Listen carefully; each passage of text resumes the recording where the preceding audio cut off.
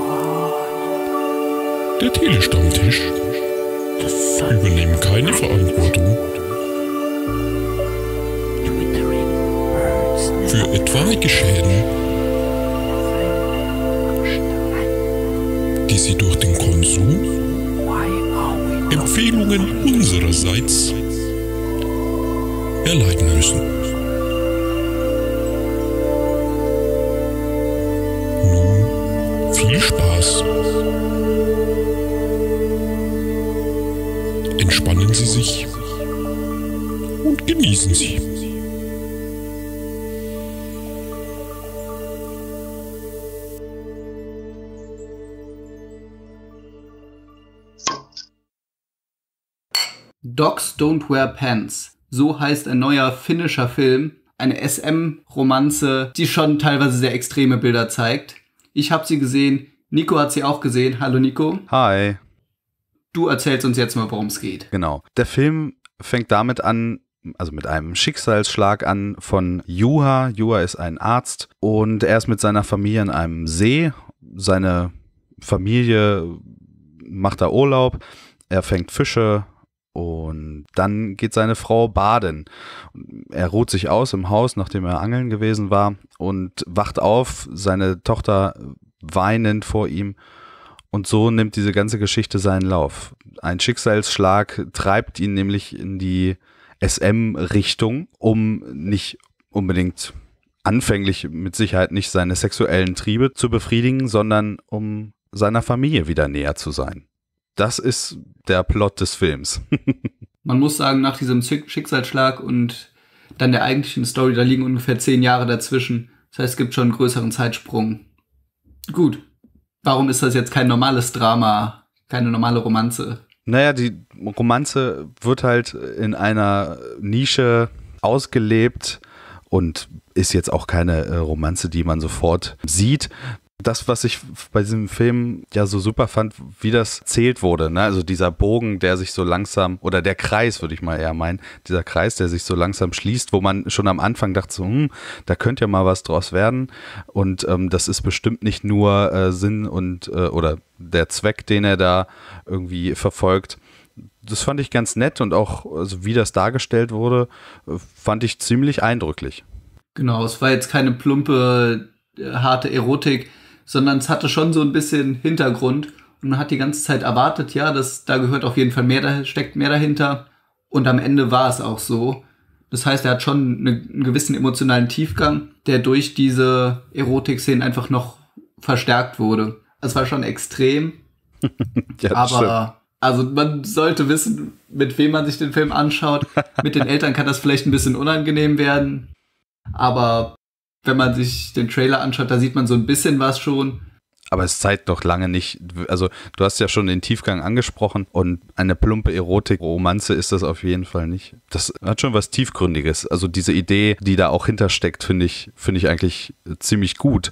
Also diese, dieses SM dazu zu benutzen, um nochmal Kontakt herzustellen. Ähm, die Leute, die es sich dann angucken, werden auch wissen, was man dann, was wir damit meinen. Also das ist schon ein interessanter Film, würde ich sagen. Der hat übrigens auch nichts mit Hunden zu tun. Er heißt nur Dogs Don't Wear Pants, weil der Protagonist ist häufiger mal als Hund im sexuellen Sinne angesprochen wird. Muss man mal gesagt haben, glaube ich. Ja, Hunde nicht, in, nicht im allgemeinen Sinne, sondern eher als, äh, ja, den Menschen als Hund dargestellt. Mhm. Abgesehen von dieser Geschichte, das alles, was drumherum war, wie fandst du das? Hat dir das gefallen? Ja, fand generell die Darstellung von auch dieser, also ich kenne mich da jetzt nicht aus in der Szene, aber ich fand es durchaus passend und auch, also es kam mir sehr echt vor und ich kann mir vorstellen, dass das auch so ist mit ähm, den Kunden und dass ja die Leute auch ein ganz normales anderes Leben haben, worin dann auch äh, oder wo sie dann auch gezeigt wurde. Ich habe mich jetzt auch wirklich überhaupt nicht äh, einmal richtig gelangweilt bei dem Film. Das hat mich sehr gut unterhalten und ähm, es kam immer was, wo man dachte so, wow, okay, das hätte ich jetzt nicht gedacht. Also auch diesen Abstieg in, in seinem alltäglichen Leben, was man wahrscheinlich von Anfang an auch schon ähm, hat kommen sehen, das hat mich, hat mich sehr, sehr, sehr, sehr, sehr gut unterhalten. Und ich Mhm. weiß nicht, wie es bei dir war. Hattest du da Zeiten, wo man sich dann dachte, so, ja, jetzt kann ja eigentlich mal wieder was passieren, aber das war, also für mich war das sehr bündig. Also da waren keine Ja. Spots, wo man hat lange warten müssen. Genau, also ich fand auch, der ist wirklich sehr gut durchgelaufen. Man hat so gemerkt, wie sich das von Mal zu Mal so ein bisschen ins Extremere entwickelt hat, dass es schon ein bisschen härter wurde, so für diesen Spannungsbogen, dass man dem Zuschauer bei jedem Mal ein bisschen mehr bieten muss. Aber was ich sehr gut fand bei dem Film, war, dass diese Sexismusfrage hat sich für mich bei der Thematik natürlich gestellt, aber der ist der Film sehr gut zuvor gekommen Ja. da diese Frau nicht als einfache Prostituierte dargestellt wird, sondern dass wir sehen, das ist eine selbstständige Frau, die steht eigentlich mitten im Leben und entscheidet sich aber bewusst für diesen Weg Ja. und das zu machen, weil es sie selbst ein bisschen erfüllt. Und das, finde ich, hat man in solchen Filmen schon häufiger nicht so gemacht. Hier wurde es sehr schön gelöst. also mir zumindest kam diese Frage gar nicht auf. Die wirkte so selbstbewusst und in dem, was sie da macht, so sicher und ähm, ja, was du ja sagst, selbstbestimmt. Also es war jetzt kein Schmuddelfilm in Anführungszeichen, wie man vielleicht sowas ähm, von anderen Filmen kennt und es wurde nicht überzeichnet. Also es war sehr, sehr echt. Es kam echt rüber. Ja. So, magst du noch ein kurzes Fazit abgeben? Ich würde sagen, wir vergeben eine bis fünf Hundemasken. Ja, dem Film würde ich ganz gerne dreieinhalb äh, Hundemasken geben. Fand ich ein unterhaltsamer Film, auch für Leute, die ähm, jetzt nicht unbedingt in der Szene da unterwegs sind. Und ich würde mir vielleicht sogar mit, ja, mit Leuten, die das nicht kennen, einfach vielleicht mal zum, zum Schocken auch so ein bisschen, würde ich mir gerne nochmal angucken. Finde ich gut. Bei der Punktzahl kann ich mich auf jeden Fall anschließen. Ich bin auch bei dreieinhalb von fünf Hundemasken. Ich finde, es ist ein guter Film. Man sollte auf jeden Fall wissen, auf was man sich da einlässt und den nicht einfach so gucken. Ich glaube, man muss ihn sehen, um ihn wirklich so verstehen zu können, Ich dass wir jetzt auch. alles gesagt haben. Von uns beiden gibt es eine Empfehlung. Ab dem 23. September erscheint er hier in Deutschland. Mal gucken, ob er in eurem Kino erscheint. Ist ein relativ kleiner finnischer Film. Aber vielleicht habt ihr ja Glück. Bis zum nächsten Mal. Bis dann. Danke dir. Ciao. Ja, hallo ihr lieben Menschen, hier ist wieder der Telestammtisch. Wir haben eine neue Review am Start. Es geht um Atomkraft Forever, ein Dokumentarfilm. Und mit an meiner Seite ist heute zum einen der Werner. Hallo lieber Werner. Hi. Und der Max. Hallo Max. Hallo, auf zum Atom. Auf zum Atem. Ja, äh, wir brauchen natürlich erstmal zum Einstieg ein paar äh, kleine Fakten, die genannt werden müssen zum Film. Aber bevor wir das machen, müssen wir natürlich erwähnen, dass wir ein community-finanzierter Podcast sind. Das heißt, wenn euch gefällt, was wir hier so machen, dann lasst doch mal den ein oder anderen Rübel, äh, Rubel zu uns rüberwachsen. Und äh, die Infos dazu findet ihr natürlich in den dazugehörigen Infokasten irgendwo hier unter dem Video oder Podcast. So, dann auf zu den Fakten. Atomkraft Forever ist eine Dokumentation, die 100, äh, nicht ganz 100 Minuten, eher 98 Minuten geht. Und darin geht es dann um das äh, Atomkraft, was äh, ja, Atomkraftwerk, das abgeschaltet wurde. Und es wird ein bisschen gezeigt und erklärt, wie das funktionieren soll mit dem Abbauen und wohin der Müll kommen soll wieso beschlossen wurde, dass man aussteigt etc. Also auf dem Papier ein ganz interessantes Thema. Dann würde ich sagen, können wir mal direkt einsteigen und ähm ich finde es bei einer Doku immer unglaublich wichtig, dass man von Anfang an direkt in die Doku reingezogen wird, dass man einen guten Anker gesetzt bekommt. Und äh, wie habt ihr das empfunden? Hat euch die Doku sofort mitgenommen? Ähm, hat sie da einen guten Einstieg ins äh, Thema geboten oder sagt ihr, ja, äh, hat ein bisschen gebraucht? Werner, was sagst du? Der Einstieg, muss ich zugeben, der war noch solide besser als der Rest der Doku, aber um ehrlich zu sein, heißt es leider nicht viel. So viel kann ich mal kurz sagen. Okay, was, was äh, sagt denn der liebe Max? Ja, das ist ein schwieriges Thema, finde ich. Denn, also, ja, Einstieg. Ich meine, man, man wird erstmal in dieses Atomkraftwerk, welches abgeschalten wurde, in Greifswald. Das wird einem dann vorgestellt, dann kriegt man dann den, den netten Erzählonkel auch nebenher gestellt, der da mehr oder weniger mit der Abbauarbeit mit seinem Team irgendwie ja, be betreut ist und sieht alles sehr, ich finde, es sah ein bisschen aus wie im Finanzamt, muss ich sagen. Ja, auf jeden Fall es wäre schön gewesen, wenn man über die, äh, über die gesamte Doku hinweg mehr von diesem Abbau dann mitbekommen hätte, aber irgendwann mal so nach zehn Minuten wurden wir ja komplett in ein anderes Thema reingeworfen. Deswegen ist die Sache mit dem Anker setzen ja, vielleicht ein bisschen falsch gewählt, weil alle zehn Minuten ist ein neuer Anker gesetzt worden. So kam es mir zumindest vor. Also bei mir persönlich hat es relativ gut funktioniert, was daran lag, dass mir tatsächlich nicht bewusst wurde, wie unglaublich aufwendig und lange so ein Rückbau von einem Atomkraftwerk dauert. Und das ist ja sozusagen so das, das Erste, womit die Doku hausieren geht, dass halt äh, zum einen gesagt wird, ich glaube, Ende der 90er wurde das abgeschaltet oder Mitte der 90er und äh, das wird jetzt noch irgendwie 20 Jahre oder so dauern, bis das dann komplett zurückgebaut ist. Also es ist eine riesige Zeitspanne ähm, und äh, das fand ich persönlich relativ äh, eindrucksvoll und war mir so nicht bewusst. Deshalb ist, ist das bei mir ganz gut äh, angekommen als Start. Aber ich merke, äh, bei euch war das nicht so der Fall. Nee, also ich muss zugeben, der Anfang, der ist ja noch in Ordnung, weil man schon da einsteigt, wo man einen ja auch hinhaben will, sage ich mal. Auf dem Papier, wie gesagt, da geht es ja hauptsächlich um dieses eine Atomkraftwerk, was abgebaut werden soll.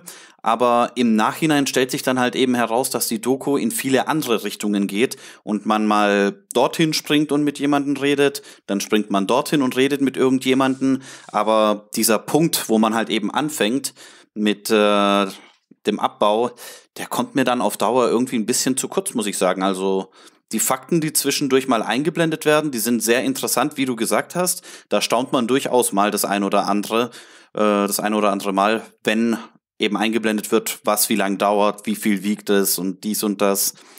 Aber das kann sich einfach nicht über die Laufzeit von 98 Minuten halten. Hm. Und vielleicht haben sie einen Fehler gemacht.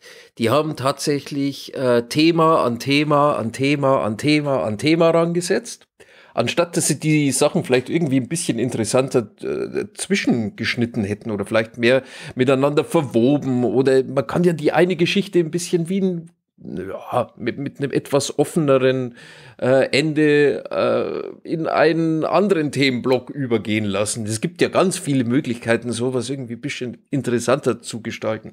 Aber es war tatsächlich ein bisschen dröge. Und die hat hm. mich dann auch nach Gundremmingen verloren, die Doku. Ja, vor allem, ich habe mir die Doku erst gestern Abend frisch angeschaut, ne?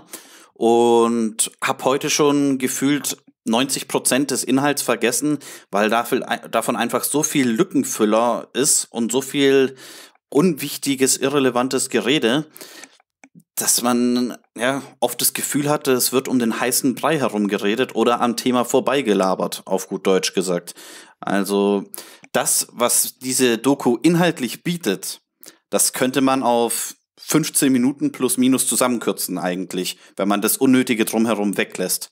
Aber wie gesagt, 98 Minuten hat man draus gemacht und man muss kein Mathematiker sein, um sich ausrechnen zu können, wie viel leere Luft dazwischen dann gelagert wird in dieser Doku. Hm. Also ich muss sagen, bei mir ist es deutlich länger her als bei dir, dass ich den Film gesehen habe. Das heißt, auch bei mir ist das ein oder andere schon wieder ein bisschen verblasst. Aber ich muss sagen, dass mir dieses dieses Themenhopping von einem zum anderen nicht ganz so krass negativ im Gedächtnis geblieben ist und dass ich vor allem dann den Mittelteil über die Suche nach dem Endlager und generell halt die Entsorgung des atomaren Endmülls als sehr interessant empfunden habe. Ich weiß jetzt nicht, genau, äh, wie ich das jetzt bei euch einzuordnen habe. Das äh, klang ja bei euch alles eher so ein bisschen negativ. Wie habt ihr das gesehen? Also interessant ist das richtige Wort. Interessant äh, ist die Thematik absolut. Deswegen Deswegen äh, habe ich äh, überhaupt gesagt, ich will das auf jeden Fall sehen, weil Atomkraft ist ein sehr interessantes, wichtiges Thema. Äh, mhm. Ja, ich habe die Serie natürlich äh, dazu gesehen. Fukushima kam jetzt erst raus, der Film. Und mhm. passend jetzt halt eben die Doku dazu, dachte ich. Aber viel, wie gesagt, man trifft hier einfach nicht so richtig den Nagel auf den Kopf, weil dann hast du da noch irgendwelche französischen Interviews zu dem Thema, obwohl es hier ja um den Abbau in Deutschland gehen sollte, ne? Und stattdessen kommen dann irgendwelche Pro-Atomkraft-Interviews, was generell ein bisschen so sich durch die Doku zieht, dass die anscheinend irgendwie eher so pro-Atomkraft gestaltet ist, statt irgendwie auf neutralem Boden gebaut zu sein. Jo. Aber das habe ich tatsächlich ein bisschen anders empfunden. Weil ich fand, die, die, die, die Franzosen wurden ja jetzt nicht sonderlich positiv dargestellt. Also ich, ich, ich empfand das äh, tatsächlich eher so ein bisschen, bisschen abstoßend, wie sich da einige dann auch zum Thema Atom irgendwie geäußert haben. Also das, es war ja fast so, als wenn die über eine Geliebte gesprochen hätten. Oh, das ist so, so, so völlig mhm. romantisiert, wie die halt über diesen Prozess des, äh, des, des Energieherstellens durch Atomkraft äh, erzählt haben. Äh, das wirkte für mich so ein bisschen, bisschen wie vorführend. Das schon, aber ähm, da gab es ja dann auch viele, die halt eben gesagt haben, ja, die Entscheidung, dass Deutschland austritt, ist lächerlich und es ist dumm, dass Deutschland aussteigt und aus dem und dem Grund ist der Ausstieg schlecht. Also das meinte ich, dass da eben viel pro Atomkraft gezeigt wird oder interviewt wird, je nachdem. Ja. Hm. Okay, also ich, ich habe das irgendwie ein bisschen anders aufgenommen. Max, wie hast du das empfunden? Ich bin dann ein bisschen so mitten äh, zwischen euch beiden. Also ich finde, dass die, äh, ich glaube nicht, dass die Macher der Doku da wirklich pro Atom sein wollten. Sie haben aber durch die Erzählweise, finde ich das doch ein bisschen, äh, ich will nicht sagen forciert, aber vielleicht unklug angestellt, wenn sie, wenn sie da kritischer damit hätten sein wollen. Denn, wie gesagt, am Anfang, du hast halt den, den äh, netten Erzähl Onkel, der da das äh, äh, Kraftwerk mit abbaut und dann danach in Gundremmingen kommen dann die ganzen Leute, die sagen, oh, seit sie das Atomkraftwerk irgendwie abgebaut haben, fehlt uns ein Stück Heimat und dann kommen die Franzosen, die dann auch vom Atom schwärmen und so weiter und so fort. Und du hast eigentlich erst im, im, im letzten Drittel mehr oder weniger mit den, mit den, mit diesen Gegnern, beziehungsweise was heißt Gegner, mit diesen Kritikern, die sich dann tatsächlich äh, etwas äh, genauer mit dem Atommüll und dem Abbau und dem Endlager beschäftigen. Äh, Leute, die, die, sagen wir mal, kritischer vor der Kamera damit umgehen. Die Kritik war meistens erst immer nach jedem Themenblock in den, ja, in den Texten, die eingeblendet wurden. Wobei ich dir, Steven, da auch zustimmen muss. Für mich als Zuschauer waren viele Leute auch sehr ja eher abstoßend, was aber tatsächlich wohl eher damit dazu, äh, äh, was eher eher daherkommt, dass ich solche Personen per se ja eher auf meiner, ich, ich würde die nicht auf meine Weihnachtskartenliste mit draufnehmen, sagen wir es mal so.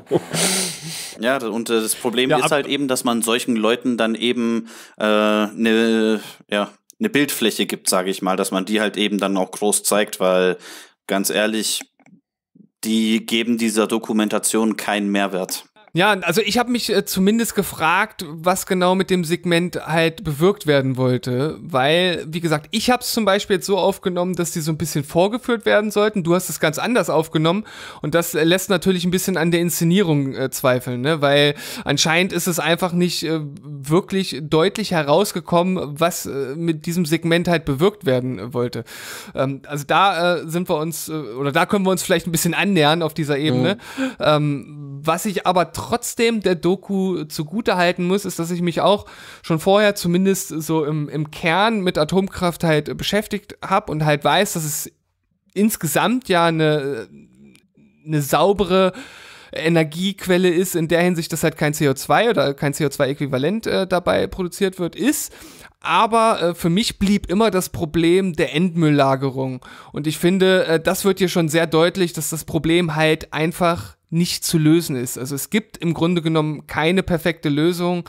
Niemand findet jemals einen Ort, der eine Million Jahre allen Möglichkeiten standhält, ähm, dass da halt nie irgendwie was passieren könnte.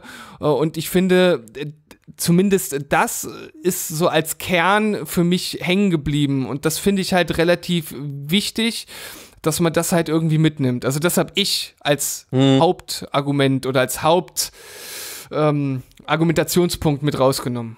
Hm.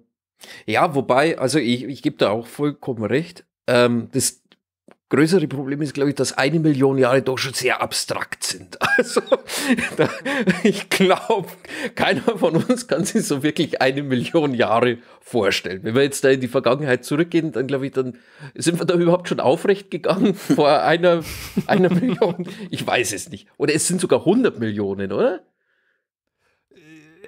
Einigen wir uns darauf, dass es eine Es wirklich ist lange Zeit lange ist. abstrakte Zeit. Und ich glaube, das ist so. Ich, ich meine, die, die, die, die, die, die Doku ist ja auch nicht sehr. Ich finde sie nicht sehr sehr anschaulich in dem Sinn, dass sie, dass sie da irgendwelche Grafiken jetzt gezeigt hätten, die, die das irgendwie dann auch symbolisieren können. Es wird da von einer Million Jahre gesprochen und ich muss mir das in meinem kleinen Spatzenhirn dann irgendwie selbst zusammen äh, löten, wie, ja, wie sieht jetzt eine Million aus? Ich würde eigentlich, eigentlich, wa- was mir gefehlt hat, das ist so ein bisschen dieses, ähm, wie schaut's in 50 Jahren aus? Wie schaut's jetzt aus? Was gibt's da für, für Optionen? Gibt's da überhaupt für Optionen? Dann, wenn diese französischen Mark Zuckerberg Nuklearwissenschaftler, diese neue Generation da irgendwie daherkam, was macht euch zu einer neuen Generation? Wer, wer, wieso seid ihr jetzt auf einmal die neuen Rockstars im Nuklearhimmel? Was, habt ihr vielleicht irgendwie die Brennstoffwiederverwertung neu gemacht? Dann äh, äh, äh, herzlich willkommen hier. Dann, dann erzählt mal, was ihr da macht. Aber die sind halt einfach nur gezeigt worden. Die machen da ihre, ihre Party auf ihrem Schiff und das war's dann. Also von dem her. Äh, Sie haben studiert, das reicht. Das sind große ja, Tiere. ich habe auch studiert. Ich habe auch studiert. Nee, aber anhand unserer Runde hier erkennt man ja schon, dass diese Doku sich selber auch ein bisschen so äh, verläuft, nicht zum Punkt kommt und auch nicht so richtig seinen Zweck erfüllt, weil meiner Meinung nach zu wenig auf die wichtigsten Sachen eingegangen wird. Also Zahlen, Daten, Fakten von dieser Doku kommen einfach viel, viel zu kurz.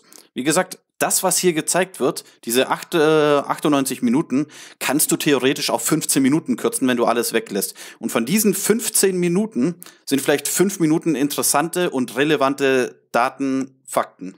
Alles andere, Interviews über Zeug, was du morgen wieder vergessen hast. Mm.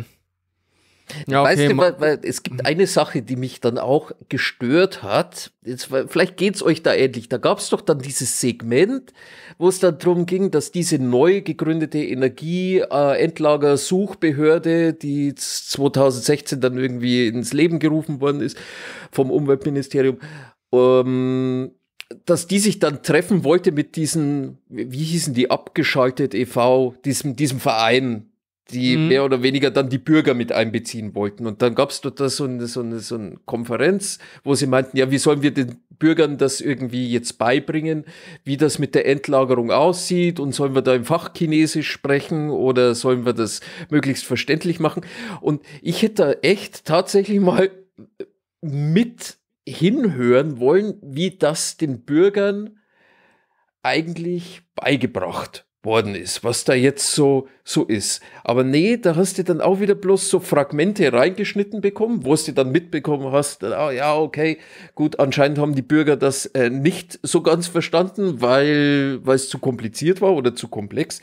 Und in dem Fall, weiß nicht, das sind alles so Dinge, die geben da, die haben Potenzial, die, die machen es dann für mich irgendwie spannend. Da fange ich dann auf einmal an, wieder die Augen aufzureißen und die Ohren aufzumachen und zu sagen, ja, komm, gebt mir Information, gebt mir Information. Und dann, wenn ich aufnahmefähig bin und sage, komm, rein mit dem Wissen, dann kommt der nächste Themenblock. Es ist sehr unbefriedigend. Ja, das ist das richtige Wort für die Doku. Unbefriedigend.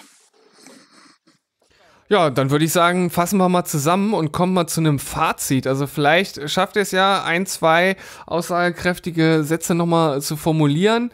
Und äh, dann würde ich sagen, vergeben wir 0 bis 5 äh, reine Energien. Reine Energien. Oh, reine Energien. Oh Mann. Wie sehen die aus? Ich fange jetzt einfach mal an. Ich, ich Fang mal davor. Ähm, also, ist ein Dokumentarfilm, für den würde ich jetzt nicht ins Kino rennen. Ich würde ihm aber auch nicht verbieten, auf Arte zu laufen. Und wenn der in der Mediathek bei Arte wäre, ich bin mir hundertprozentig sicher, dass ich mir den auch äh, angeklickt hätte, angesehen hätte. Ähm, jetzt so, was Informationsgehalt angeht, ich bin halt ein sehr belesener und äh, sehr wissenschaftlich interessierter junger Mann. Ne? Da, kam, da kamen keine neuen Sachen für mich jetzt raus. Auf der anderen Seite, ich finde es ja gut, wenn, wenn, wenn dieses Thema immer wieder zur Sprache gebracht wird. Und deswegen gut gemeinte zweieinhalb äh, Punkte. Ja. So äh, Durchschnittsware. Puh, okay. Was, was sagt denn Werner? Oh, er, er sagt schon Puh, das kann also nur deutlich schlechter ausfallen. Ja, ehrlich gesagt schon. Denn äh, ehrlich gesagt hat mir die Doku einfach viel zu wenig gegeben und mich sehr enttäuschend, sehr enttäuscht zurückgelassen. Also es gab zu wenig Sehenswertes, was die Thematik angeht, zu wenige Zahlen, Daten, Fakten, was das Thema angeht und zu viel irre irrelevantes Gelaber und Interviews kombiniert mit irgendwelchen Aufnahmen von Orten, die dich äh, persönlich, sagen wir mal, oder nicht in dem Fall nicht wirklich interessiert haben. Also man hat, Hm. man ist am Ziel vorbeigeschossen und dementsprechend habe ich mich über die meiste Zeit auch wirklich gelangweilt und fühle mich jetzt äh, am Tag nach der Doku kein bisschen schlauer als vorher gefühlt. Also von dem her, ja, ungenügend. Und deswegen von mir nur 1,5 von 5 sauberen Energiekraftwerken oder was das jetzt auch war. Also, Einmal Wasserkraft. ja, Einmal Wasserkraft, bitte. deswegen, Ja, also.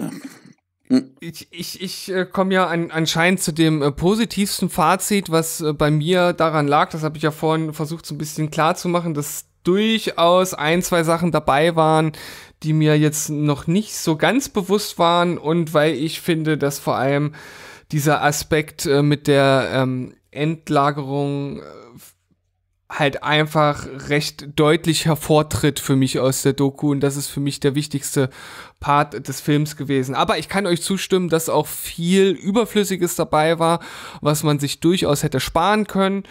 und ähm, auch Parts, die irgendwie nicht so richtig wussten, was sie eigentlich darstellen sollten.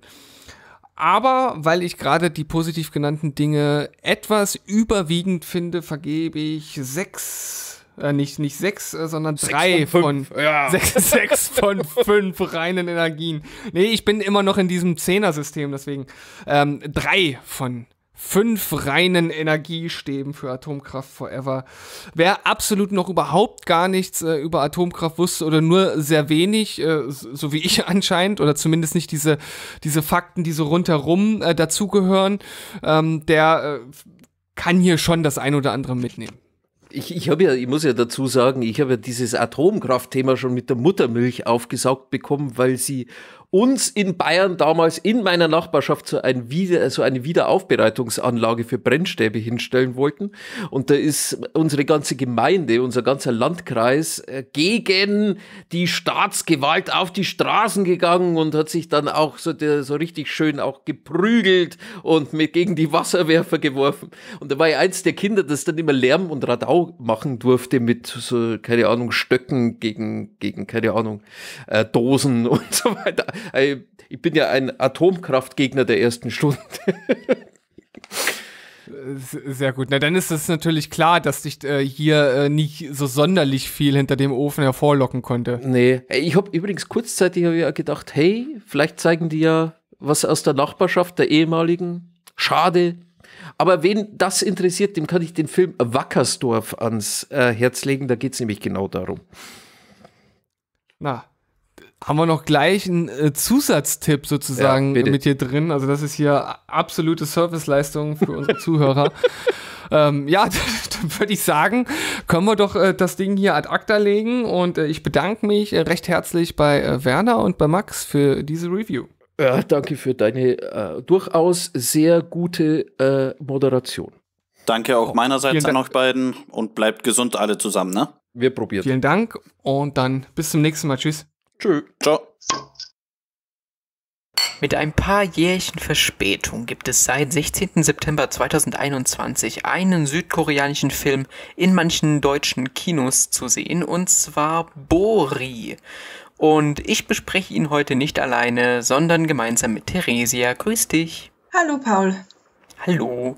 Ja, der Film ist von Kim Jin-Yu, geht 110 Minuten und ist ab sechs Jahren freigegeben. Theresia, worum geht es in diesem Film? Ja, also in dem Film geht es um die elfjährige Bori. Die lebt mit ihrem jüngeren Bruder, mit ihren Eltern in Südkorea in einer Küstenstadt. Und die Familie macht auch so auf den ersten Blick einen recht glücklichen und zufriedenen Eindruck. Nur das Besondere ist eben in dieser Familie, dass außer Bori der Rest der Familie ähm, nicht hören kann und sich nur über Gebärdensprache ausdrückt. Und deswegen ist die Aufgabe der elfjährigen Bori meistens eben zu dolmetschen ähm, für Gespräche am Telefon, in Geschäften oder bei Behörden. Und der Nachteil aber für Bori ist aber, sie fühlt sich zum Teil manchmal innerhalb der Familie eben etwas ausgeschlossen, weil eben so die Blase um ihre Eltern und ihren Bruder herum mit der Gebärdensprache, die etwas Vertrautes sind und Bori fühlt sich da eben immer etwas ausgeschlossen und fasst deswegen einen sehr kühnen Plan. Sie möchte nämlich auch gehörlos werden. Ja.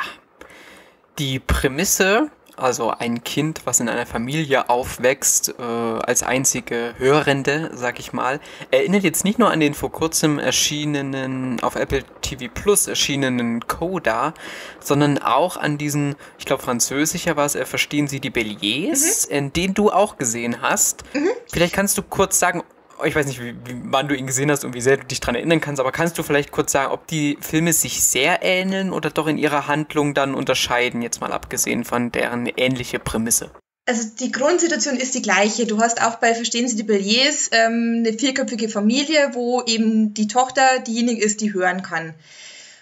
In dem französischen Film ist es aber so, dass eben die Tochter wesentlich älter ist, die ist halt da schon 16 und äh, will halt quasi jetzt ihre eigenen Wege gehen, hat die Möglichkeit für ein äh, Musik-Gesangsstipendium und möchte halt eben da die Familie verlassen, hat aber auch eben den Zwiespalt, wie kommt dann eben die Familie ohne sie klar.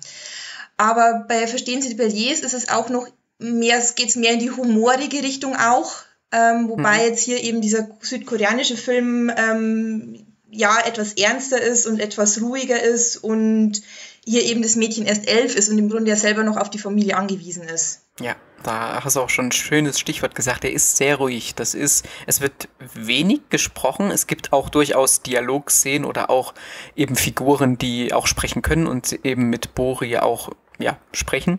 Aber im Großteil wird hier auch viel entweder in Gebärdensprache oder einfach über Geräusche oder über Musik äh, gemacht und das eben über die knapp zwei Stunden ungefähr hinweg. Wie hat dir diese Herangehensweise gefallen? Oh, ich fand die eigentlich sehr gut. Also das ähm, reduziert eben das auf das Wichtigste und man agiert eben viel über, über Bilder, über Musik, über Gesten und Körpersprache. Das ist, finde ich, eine sehr gute Herangehensweise und das ähm, ja, gibt der Film auch her. Also das ist dann wirklich so eine, so eine Welt, wenn ich mir das vorstelle, ich wäre jetzt Bode und ich habe halt zu Hause quasi dann keine Geräuschkulisse, weil eben meine Familie mit mir eben mit Gebärdensprache kommuniziert und nicht eben mit, mit Sprache. Also Bodi selber zu Hause lebt eben in einer sehr stillen Welt, sage ich jetzt mal. Und deswegen glaube ich, ist es jetzt auch gut, das im Film so zu transportieren.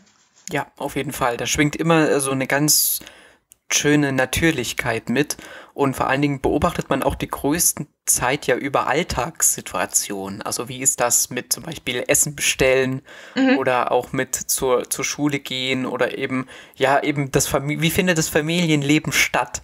So, und da finde ich erstmal auch die SchauspielerInnen, finde ich toll. Also ich finde die authentisch, die machen das, ich kaufe denen das richtig ab. Ich weiß auch gar nicht, ob es, ob sie tatsächlich äh, stumm äh, beziehungsweise taub sind oder einfach nur das äh, so, so spielen und mhm. der eben Gebärdensprache mächtig sind. Ich meine, die, die Hauptperson oder die Schauspielerin der Hauptperson ist ja auch, die kann ja auch sprechen und kann aber auch fließend die Gebärdensprache da zeigen. Und ich finde, das hat eine ganz tolle Dynamik auch in der Familie und auch trotz dieser eben, äh, diese geringen Dialoge, trotzdem auch so zwischenmenschliche und mhm. auch äh, Gespräche in Anführungszeichen unter vier Augen eben zwischen zum Beispiel Bori und ihrer Mutter oder Bori und ihrem Vater gemacht, die trotzdem eindringlich eindringlich sind und auch packend sind. Ja, die sind auch, glaube ich, sehr wichtig eben auch für Bori, dass sie halt eben den, den einzelnen Kontakt eben auch zu ihrem Bruder oder zu ihrem Vater hat, mit dem sie dann immer angeln geht. Und ich glaube, das ähm, ja, dann fühlt sie sich eben nicht mehr so ausgeschlossen, wenn eben dann die einzelnen Familienmitglieder auch mal Zeit mit ihr verbringen.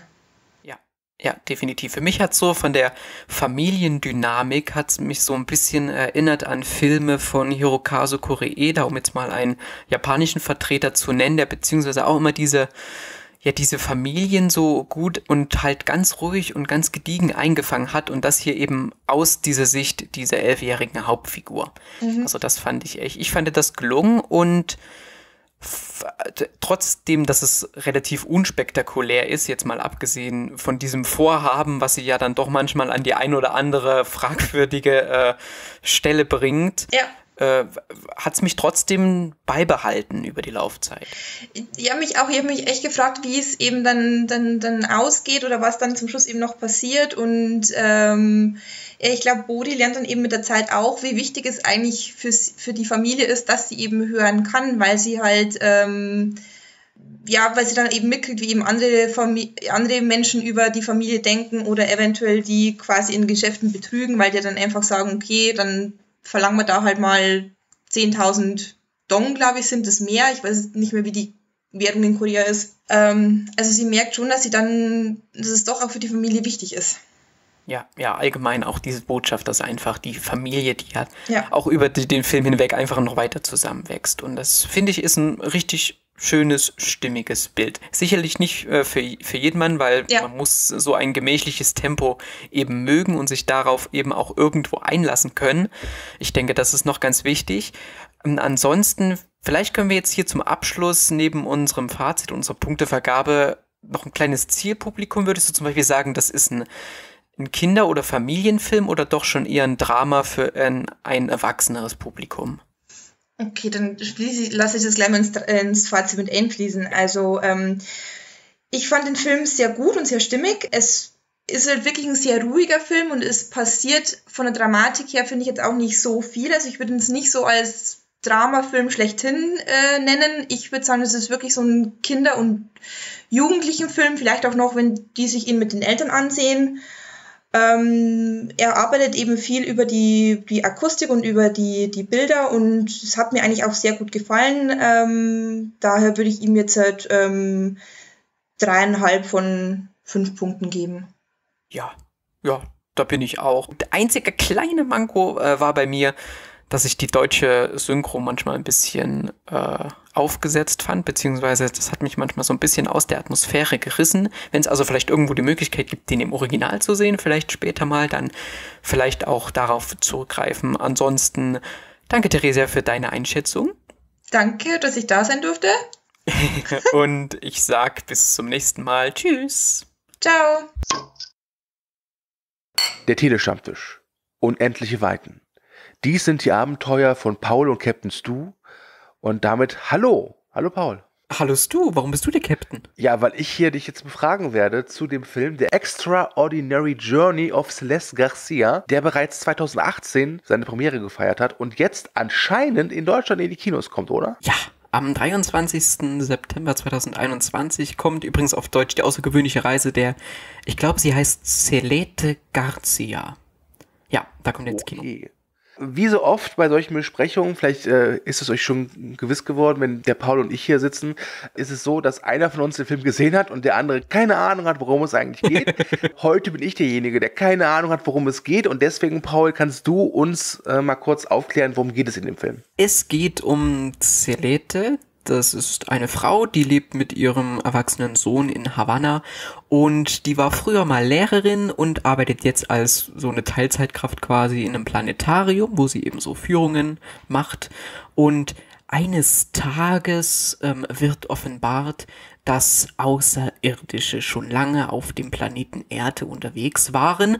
Ja, und nun sich quasi offenbaren und einige ausgewählte Menschen mit auf ihren Heimatplaneten nehmen würden. Und sie findet auch heraus, dass ihre Nachbarin eine dieser geheimnisvollen Aliens war und ihr sogar eine Einladung äh, hinterlassen hat. Und deswegen begibt sie sich auf eine ja außergewöhnliche Reise eben nicht direkt zu diesem Planeten, aber erstmal das Ganze, was dazugehört. Erstmal muss man gucken, ob man vielleicht auch dafür noch ein bisschen ausgebildet wird oder so. Und all das, das sieht man in diesem Film. Ich sehe gerade das spanische Plakat vor mir und das ist sehr klar eine Hommage an die Science-Fiction-Filme der 50er und 60er Jahre. Das weckt so ein bisschen in mir so die Assoziation, dass der Film sich selbst nicht ganz so ernst nimmt. Liege ich damit richtig oder bin ich da auf dem Holzweg? Er nimmt sich überraschend ernst. Es ist eine Mischung aus Komödie, Drama und Science Fiction. Übrigens, ich weiß gar nicht, ob du das schon gesagt hast, eine deutsch-kubanische äh, Co-Produktion. Und er hat mich in, in, in vielerlei Hinsicht hat er mich erstmal überrascht. Denn er ist keine reine Komödie und auch nicht so, dass es sich jetzt nicht die ganze Zeit nicht ernst nimmt. Er hat tragische und ernste Momente. Er schlägt im zweiten Drittel ungefähr auch so einen schroffen Ton an. Und man fragt sich so dauernd, okay, was sehe ich denn hier? Oder wo läuft das Ganze hinaus? Stimmt hier irgendwas nicht? Was ist das Ganze? Es ist so ein bisschen was Surreales, aber schon was, was sich zumindest in der Welt, in der es spielt, ernst nimmt. Und äh, wie wichtig ist diese Hauptfigur, diese Celeste oder Celeste, wie wird das ausgesprochen? Also ich habe ihn auf Kubanisch mit deutschen Untertiteln gesehen, da haben sie immer gesagt Celete, also das S war stumm. Deswegen Ah, okay. übernehme ich das jetzt einfach mal so. Sie ist wirklich sehr zentral in diesem Film und man muss auch sagen, das ist Sie hat eine sehr sympathische Ausstrahlung. Die Schauspielerin, die Maria Isabel Diaz Lago, die strahlt so eine Grundsympathie aus, die eigentlich diesen ganzen Film über schon allein tragen kann. Insgesamt ein sehr herzlicher Film. Die Chemie zwischen den einzelnen Personen, denen sie dann begegnet, die stimmt eigentlich auch immer. Und es geht quasi darum, diese Menschen versuchen eben mit diesem Raumschiff zu diesem geheimnisvollen Planeten zu fliegen, aber eigentlich geht's eben darum, ihrem eigenen Leben auf irgendeine Art und Weise zu entfliehen oder eben auf eine neue oder eine zweite Chance zu ho hoffen oder die einfach von etwas Besserem träumen. Die Hauptperson an sich, damit, da das kann ich mir vorstellen, dass einige da vielleicht Probleme mit haben können, die ist eigentlich mehr nur so ein Spielball. Sie ist zwar fast immer zu sehen, immer im Bild, sie ist aber nie wirklich aktiv oder kommt mal so richtig über sich hinaus. Meistens gibt es irgendeinen Anstoßpunkt oder äh, sie, sie, ja, sie ist halt einfach ein Spielball von verschiedenen Dingen. Jetzt spielt der Film ja nicht irgendwie in den USA oder irgendwie Frankreich, Deutschland oder Spanien, sondern in oder auf Kuba. Ich kenne mich jetzt nicht so wirklich mit Kuba aus, aber ich glaube, dass Kuba ja durchaus so ein paar Probleme hat. So Regression, glaube ich, und Armut. Und es geht ja auch darum, dass Aliens irgendwie anbieten, komm mit uns mit äh, in eine neue Welt oder wie es Pur damals besang, komm mit ins Abenteuerland. Nimmt der Film diese Flucht auch so ein bisschen als politischen, gesellschaftlichen Kommentar oder ist dem Film das relativ e-, egal? Ja, er schneidet hier und da auch soziale Probleme, sag ich mal, an, aber eigentlich gibt's diese Probleme, würde ich sagen, nicht nur in Kuba, sondern auch weltweit in mhm. anderen Regionen. Deswegen würde ich nicht sagen, dass es speziell auf Kuba zugeschnitten ist. Es gibt hier die ein oder anderen dann vielleicht den Drill oder dass sie immer wieder als Genossen angesprochen werden, was man dann eher vielleicht in die Richtung äh, verorten könnte. Aber an sich würde ich nicht sagen, dass es irgendwie an einen Ort behaftet ist oder jetzt an ein bestimmtes Land. Jetzt ist es ja auch so, ähm, Aliens haben immer so dieses Science-Fiction-hafte an sich und Science-Fiction ist ja auch oft verankert mit Fantasie.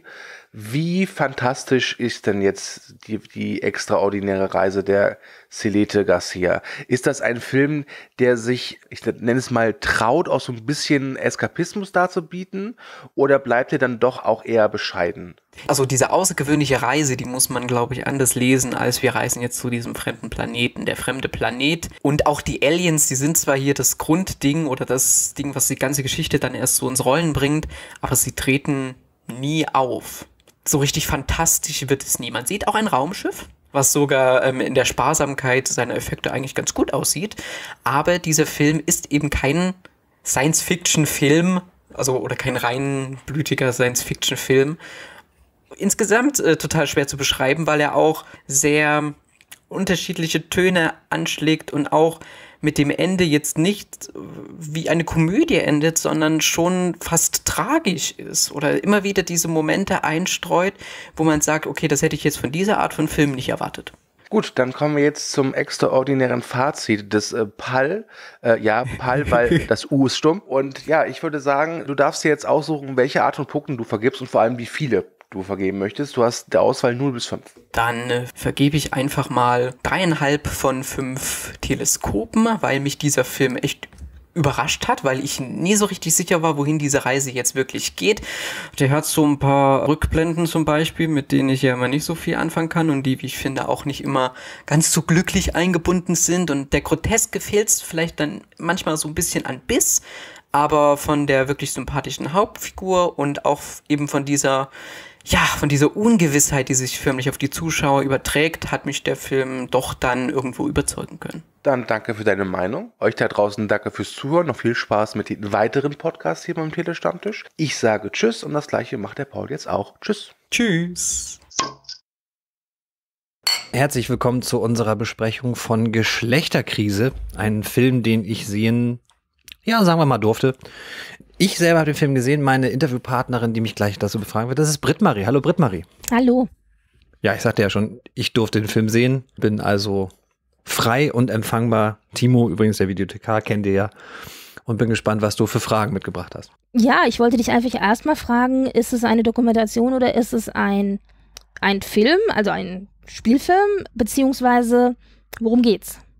Ja, es ist ein deutscher Stummfilm, geht knapp 80 Minuten und man kann sich des Gefühls nicht erwehren, dass dieser Stummfilm, der eine Art Mischung aus Tragödie und äh, Komödie sein soll, also eine Art dramatischer Komödie, dass das irgendwie ein Deutsch-LK oder auch eine kleine Studentengruppe gemacht hat. Denn das ist schon mit sehr, sehr geringen Mitteln gemacht. Das ist sehr, sehr wenig zugänglich, wenn man die Ursprungsgeschichte nicht kennt. Denn es ist eine quasi Neuauflage der biblischen Handlung über Samsung und Delilah das ist, äh, jetzt muss ich ehrlicherweise sagen, auch mir im Vorhinein nicht klar gewesen und dementsprechend habe ich das nachrecherchiert.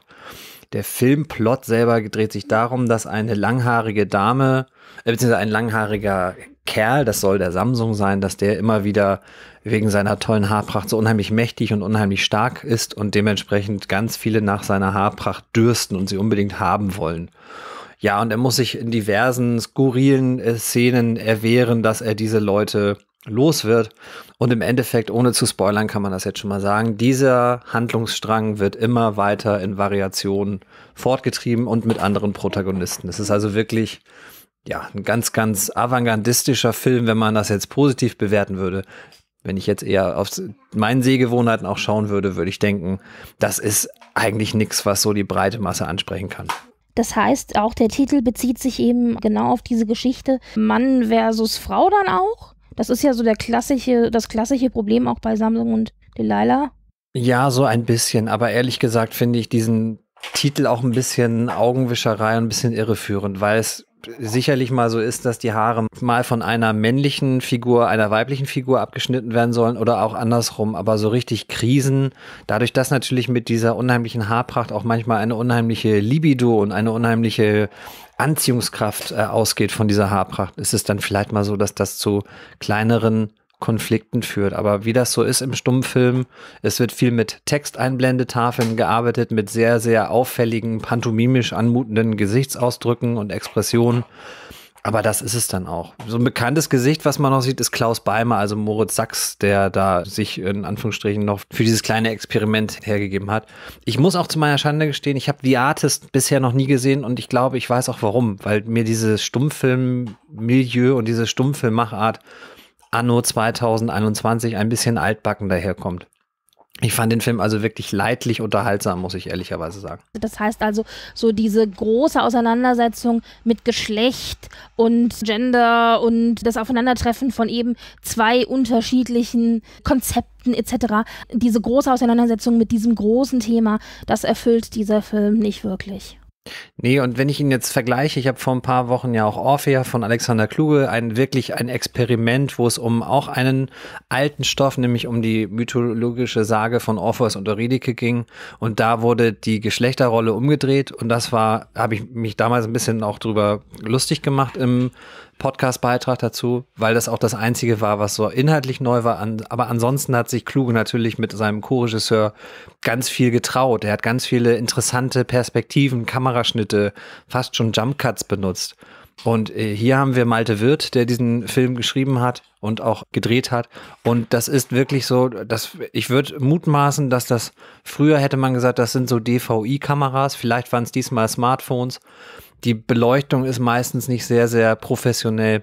Und man hat auch gerne mal das Gefühl, dass so der ein oder andere Take dabei war, der auch vielleicht gar nicht so geplant war. Man hat aber einfach die Kamera laufen lassen. Ja, dieses Gefühl ist dann so ein bisschen, dass man, äh, dass man als Zuschauer so dieses äh, nicht aus den Klamotten schütteln kann, dass man so eine so eine Art Versuchsgruppe da ist. Und man sieht da entweder also wahlweise einen Deutsch-LK Film oder man sieht vielleicht einen, einen ersten Gehversuch von Filmstudenten, die also mal gucken, was sie so filmisch drauf haben. Also mir hat er leider wirklich gar nicht gefallen. Hm. Wenn du jetzt das Ganze zusammenfassen müsstest, also nicht gefallen und nicht gefallen, wie viel denn nicht gefallen? Also wenn wir sagen, von einem abgeschnittenen Skalp bis hin zu fünf. Ach ja, also ich, man muss ja auch immer an die Sehgewohnheiten denken, bei unseren HörerInnen. Deswegen, wer also mit sowas anfangen kann, der, der kann da sicherlich seine Freude haben. Ich selber hatte allerdings wirklich leidlich Spaß und habe deswegen eineinhalb von fünf Haarsträhnen oder abgeschnittenen Skalpen.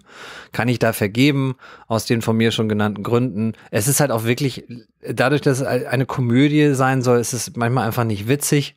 Zumindest nicht für meinen Geschmack, den ich an Humor habe. Und äh, mir ist es einfach wirklich ein Dorn im Auge, wenn man so versucht, minimalistisch zu sein und was Minimalistisches erzählen will, aber dann sich so eine große Geschichte rausnimmt und die dann meint, neu zu interpretieren. Also, wie gesagt, für mir, von mir eher eine Empfehlung. Ich denke auch eher, dass das in ganz wenigen Spielhäusern überhaupt laufen wird, weil momentan so viele Filme und so viele neue Filme kommen, dass der eher untergehen wird. Und wenn man mich jetzt fragt, das soll nicht gemein klingen, aber nicht ganz so unrecht. Wunderbar, dann dank dir dafür und auf Wiedersehen. Tschüss. Hallo und herzlich willkommen zur Besprechung des Films Herr Mo, ein Film von Der Hyung Lim, der am 23. September 2021 in den deutschen Kinos startet. Bei mir ist heute nicht der Mo vom Telestammtisch, sondern der Chris. Hallo. Hallo Paul, ich hoffe, ich lüge auch. ja. So gerade. das wird sich jetzt herausstellen. Nein, hm. der Film geht eine Stunde und 41 Minuten, ist am ehesten ja, Drama-Komödie, steht zumindest hier und passt auch ganz gut und ist in Schwarz-Weiß gedreht und um was es geht, das verrät euch jetzt Chris. Herr Mo ist ein Friseur, der ein recht einsames, zurückgezogenes Leben führt und er ist todkrank. Er hat leider nicht mehr viel Zeit. Er verbirgt diese Krankheit aber vor seiner Umwelt und geht weiterhin seinem Alltag nach. Und er hat einen Sohn namens Steven, der ein angehender Filmemacher ist. Und da Herr Mo nun mal begreift, dass er nicht mehr allzu viel Zeit hat, nähert er sich seinem Sohn wieder an und will zusammen mit seinem Sohn und dessen Freundin Yiwin einen Kurzfilm über sich selbst drehen. Und dabei kommen sich die drei natürlich näher. Es geht um aufgearbeitete Probleme, es geht um seine Mutter natürlich, also Stevens Mutter und die Frau von Hermo. Und es geht einfach darum, wie man jetzt mit der ganzen Situation umgeht und was die Zukunft denn noch bereithalten wird in der kurzen Zeit, die noch bleibt. Wo fangen wir denn da an? Vielleicht der Film heißt Hermo und dreht sich natürlich auch um diesen Herren, aber auch ein großer Teil dieses Films ist eben ja dann quasi dieses Dreiergespann eben noch aus äh, seinem Sohn und der Freundin des Sohnes. Wie hat dir diese Dynamik zwischen den beiden, äh, zwischen den dreien gefallen, beziehungsweise kann man es Dynamik nennen oder wie ist da dein Eindruck? Schwierig. Mir gefiel das Konzept an sich das Konzept bot das Potenzial für eine wirklich rührende, herzerweichende Geschichte. Nur ist das hier in einer Art und Weise umgesetzt, die nicht mal annähernd aus meiner Sicht diesem Konzept gerecht wird. Weil ich habe irgendwie das Gefühl, betrachten wir mal genau, was wir hier eigentlich haben. Einen asiatischen Schwarz-Weiß-Film über einen krebskranken Mann, der noch etwas erledigen will. Das ist in meinen Augen, das ist in meinen Augen diese Art von Film, der auf der Berlinale gezeigt wird und jeder, der da anwesend ist, muss den gut finden und wenn nicht, dann hast du keine Ahnung und kriegst wahrscheinlich Festivalverbot. Der, der ist einfach so prätentiös in der Art und Weise, wie er gemacht ist und für mich war das hier einfach alles zu gewollt unterkühlt. Also ich fand mhm. die, die, das Verhältnis zwischen der Fam innerhalb dieser Familie nicht berührend. Ich fand das weder witzig in den Momenten, in denen es halt ein bisschen skurril sein will, und ich fand die Aufarbeitung der Familienprobleme auch nicht packend. Das ist äh, so entschleunigt und gewollt unterkühlt erzählt, dass das für mich echt teilweise eine Qual war, den zu Ende zu bringen. Okay, ganz so schlimm war es bei mir nicht. Ich mochte tatsächlich diese entschleunigte Erzählweise und ich mochte auch diese kleineren Emotionen, die sie dann gezeigt haben. Oder wenn sie dann so wirklich, wenn es dann um die Emotionen ging, dass auf mich irgendwie noch ein bisschen besser gewirkt hat. Ich stimme dir auch zu, man spürt schon die Länge und die ist jetzt nicht ganz so lang, 100 Minuten. Ja, ich habe es auch so ein bisschen gespürt, zumal wir das ja auch noch mit, mit Untertiteln äh, und im O-Ton gesehen haben das Schwarz-Weiß, bei dem habe ich mich auch manchmal gefragt. Erst habe ich gesagt, okay, das unterstreicht halt nochmal, weil er doch so sehr Chaplin-affin ist. Okay, das soll in diese Richtung gehen, auch nochmal als Hommage, aber hätte man wirklich nicht über die ganze Zeit gebraucht. Ja, das Schwarz-Weiß an sich hat mich jetzt nicht super gestört. Für mich hatte es halt diesen möchte gern Independent-Film-Anstrich, aber klar, diese Chaplin-Referenz, die war halt dort. Nur in dem Moment, in dem die sich miteinander über die Vergangenheit unterhalten haben, da hätte wirklich, da hätten Tränen fließen können, wenn man bedenkt, worum es hier geht. Und bei dem Moment, wo die halt diesen Film gedreht haben, die boten so viel Potenzial für Comedy Gold. Das ist jetzt eine andere Mentalität, eine andere Herangehensweise. Ein amerikanischer Film hätte da vielleicht dicker aufgetragen, sei mhm. es nun Independent oder Studioproduktion. Aber die, asiatische Filme können einen auch wirklich richtig durchschütteln emotional. Das, das erlebe ich dabei immer und immer wieder. Und hier, das ist einfach so was von steril, wie das erzählt wird. Vielleicht hat der Look auch etwas dazu beigetragen, aber ich fand wirklich, das ist schade, wie sehr man hier einfach versucht hat, das Ganze so unaufgeregt zu erzählen, dass einem dabei jegliche Emotionalität abhanden ging. Hm, ja, jegliche. Also ich finde schon, dass diese ganze Herangehensweise auch so zumindest am Anfang diese Einsamkeit ja unterstreicht und gerade auch bei diesen, wenn es dann zu dem Drehen kommt, dann fand ich auch schön, wenn man einfach nur das quasi nochmal als Außenstehende beobachtet und da natürlich habe ich jetzt nicht laut losgelacht, aber ich war jetzt auch nicht so abgeneigt beziehungsweise nicht so gelangweilt äh, von den von den Bildern oder überhaupt von dem was jetzt vor sich ging. Ich finde, der hat auch gegen Ende, der heißt übrigens äh, in der englischen Übersetzung Merry Christmas, Mr. Mo. Und Ich finde, also gerade gegen Ende hatte ich schon fast so, war mir schon auch so ein bisschen weihnachtlich. Na klar, hat man dann auch das klischeereichste Lied dann auch wieder ein, aber boah, da war ich gedacht, ja, dann lass es jetzt hier noch schneien und das war dann für mich schon fast das perfekte Weihnachtsfilmende. Der passt schon eigentlich fast in diese Jahreszeit, also. Ja, wenn er denn irgendwo gespielt, gezeigt wird, wenn Leute ihn denn tatsächlich sehen werden, dann können sie sich damit schön auf die Feiertage einstimmen, wenn es ihnen gefällt. Genau. Ich, ich, will dem jetzt nicht komplett seinen Wert absprechen. Der hat hier und da schon was. Du hast recht, der Anfang, der gefiel mir auch ganz gut, wo wir Mr. Moes Alltag sehen und wo die Krankheit hier und da eben zum Vorschein kommt und er versucht aber irgendwie doch ähm, eine Balance zu behalten und will einfach weitermachen. Das war schon irgendwie einladend. Das äh, hat mich schon dann äh, ein wenig gepackt und mein Interesse geweckt. Aber mit fortschreitender Laufzeit wurde mir das alles irgendwie immer egaler. Also Leute, die den sehr mögen, können mich gerne als Banause bezeichnen oder dass ich keine Kunst erkenne, auch wenn man sie mir auf die Nase bindet. Aber ich, ich kann aus dieser Ecke von Film nicht einfach immer alles gut heißen, nur weil es eben diese Art von Film ist. Tut mir leid. Der hat mir überhaupt nichts gegeben. Gut. Vollkommen in Ordnung und deswegen kannst du jetzt auch gleich noch die Punktevergabe hinten ranhängen. Ja, was vergeben wir denn dann? F 0 bis 5 schwarze Hüte? Ja, ja, dann gebe ich zwei von fünf schwarzen Hüten. Gut gemeint, interessante Idee, auch gute Darsteller gewählt und hier und da auch sehr lebensnahe Momente, aber war nicht meine Art von Film. Ja, ich vergebe drei von fünf schwarzen Hüten. Mich hat er eben auch nicht so vereinnahmt, wie ich es mir vielleicht am Anfang gewünscht hätte, aber ich war dann im Großen und Ganzen ja, auch jetzt nicht sonderlich gelangweilt oder enttäuscht. Ich mochte so die ein oder andere Anspielung oder Hommage, die es dann noch auch außerhalb an Chaplin eben an das Kino gab. Und ja, da stecken auch schöne Bilder drinne.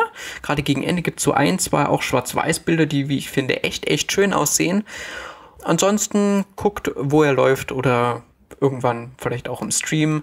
Ich bedanke mich bei dir, Chris, und sage Tschüss und bis zum nächsten Mal. Tschüss. Ich danke dir, Paul und ciao. Hallo, liebe Filmfreunde und liebe Tele-Stammtischhörer. Hier ist Thilo, der alte Schwede aus München, und äh, wir wollen heute über einen Film sprechen, der gerade brandaktuell in den Kinos ist und auch brandaktuell aufgrund des Themas ist. Es handelt sich um den Film Je suis Karl. Der Titel natürlich angelehnt an die Sprüche wie Je suis Charlie und Je suis Paris nach den äh, Terroranschlägen in Frankreich. Und ähm, dann kann man auch schon ein bisschen wissen, in welche Richtung eventuell der Inhalt dieses Films geht. Und den möchte ich jetzt erläutern mit dem lieben Boris. Ich grüße dich. Ja, servus. Hi. Jetzt wollen die Leute natürlich auch unbedingt wissen, worum geht's denn in diesem Streifen Je suis Karl. Boris, ich übergebe. Ja, dieses Je suis Karl äh, angelehnt an das 2015 Attentat auf Charlie Hebdo, also diese Satirezeitschrift aus Frankreich. Also wissen wir, in welche Richtung es geht. Es geht um Radikalismus, Rechtsradikalismus, Extremismus. Das ist auch durchweg bei dem Film das Thema. Die kurze Geschichte dazu ist, dass Maxi, gespielt von Luna Wedler, nach Hause kommt von einem Besuch bei ihrer Großmutter in Paris. Alles ist eigentlich so wie immer. Es ist so eine kleine Fünf-Kopf-Familie und sie hat eigentlich gar nicht so viel Vorlauf, muss man sagen, sondern es geht direkt in die Vollen, dass der Vater, äh, ich glaube, vom Geschäft nach Hause kommt oder so und dann das Paket annimmt, äh, was aber an eine Nachbarin eigentlich adressiert ist, bringt es nach Hause und muss dann aufgrund, weil er was im Auto vergessen hat, verlässt, äh, verlässt die Wohnung und plötzlich explodiert hinter ihm die Wohnung und dabei sterben die Ehepartnerin und die zwei Kinder. Anfangs denkt er ja, dass Maxi noch in dem Haus ist, in diesem Mietshaus was aber nicht dem Fall so ist. Und jetzt geht es darum, die Entwicklung dieser beiden Charaktere, also wobei der Vater dann so ein bisschen mehr oder weniger in den Hintergrund gerät, weil Hauptperson ist ganz klar die Maxi.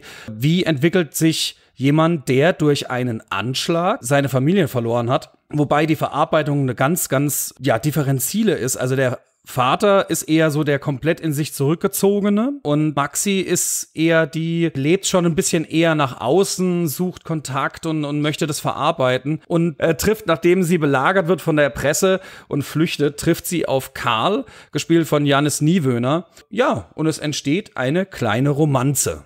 Das klingt jetzt aber auch gar nicht so spannend. Man könnte vielleicht schon noch erwähnen, ohne zu spoilern. Er lädt sie dann ein nach Prag zu einem Festival. Es ist ja auch durchaus eine Art Thriller. Natürlich kann man sich denken, dass diese Organisation hinter diesem Festival perfide Pläne eventuell hat und sie dafür vielleicht einspannen will. Ich glaube, so viel kann man verraten, ohne groß zu spoilern.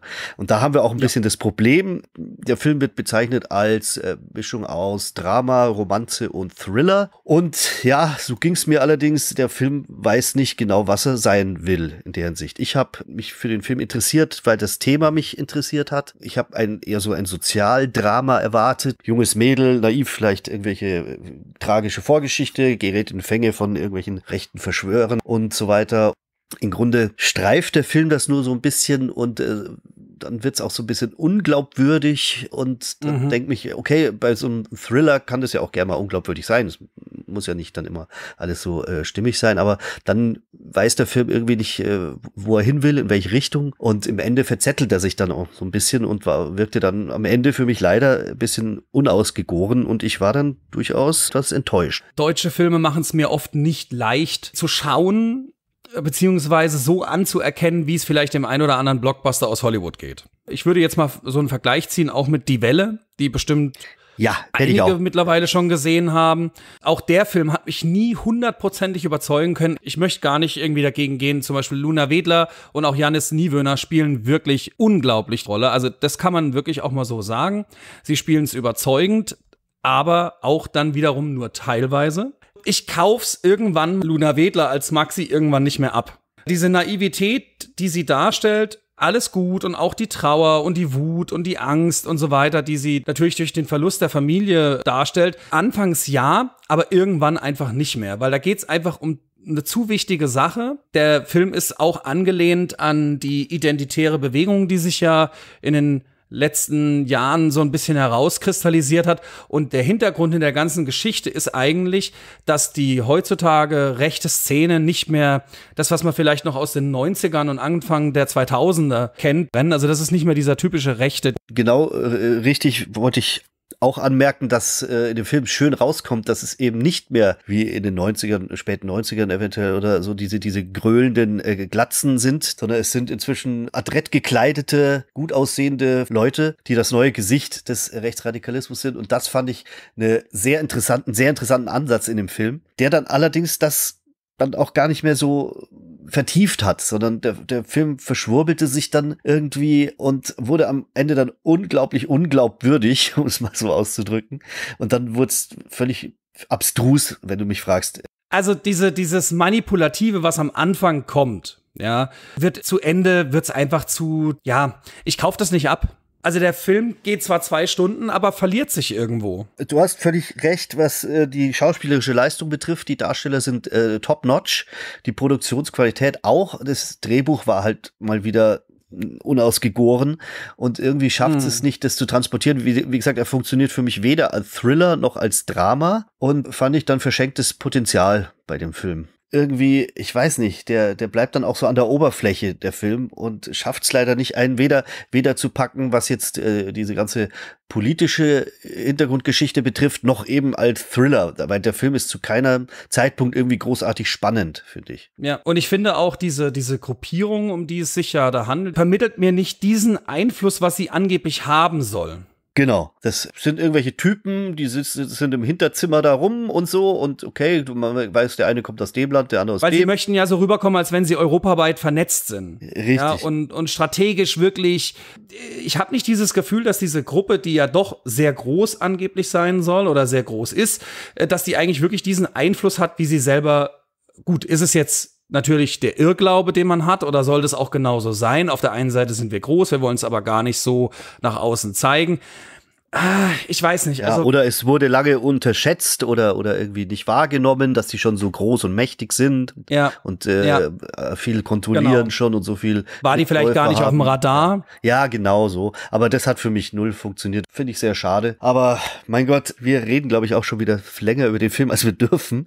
Ich glaube, wir müssen zu einem Fazit kommen. Ein bisschen haben wir ja schon gesagt, was wir von dem Film halten. Aber jetzt äh, wollen wir mal eine knallharte Bewertung haben. Wie viele tote Vögel von fünf würdest du dem Film Film geben. Also die schauspielerische Leistung muss man da wirklich jetzt mal wirklich hervorheben. Auch die Idee dahinter finde ich eine recht gute und auch zeitgemäß. Auch ganz wichtig die Message, die Rechten sind einfach nicht mehr die Glatzen, sondern es sind wirklich kluge Köpfe dahinter, engagiert, vernetzt, gut vernetzt. Und das bringt der Film auf jeden Fall ein Stück weit nahe. Aber man sollte jetzt nicht den ultimativen deutschen zukünftigen Hochklassiker erwarten. Ich gebe zweieinhalb tote Vögel.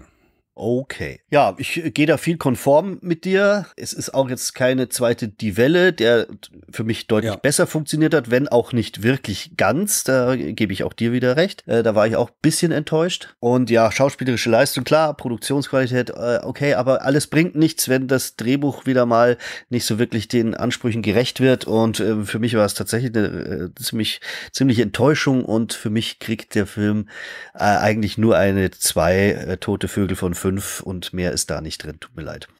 Gut, dann würde ich sagen, vielen Dank, äh, Boris, für deine Expertise und ja, äh, dann bis zum nächsten Film. Ahoi. Bis zum nächsten Mal. Macht's gut. Ciao. Hallo, hier ist der Paul vom Telestammtisch. In der nachfolgenden Besprechung reden meine Kollegin Frosty und ich über die Dokumentation Kabul City in the Wind.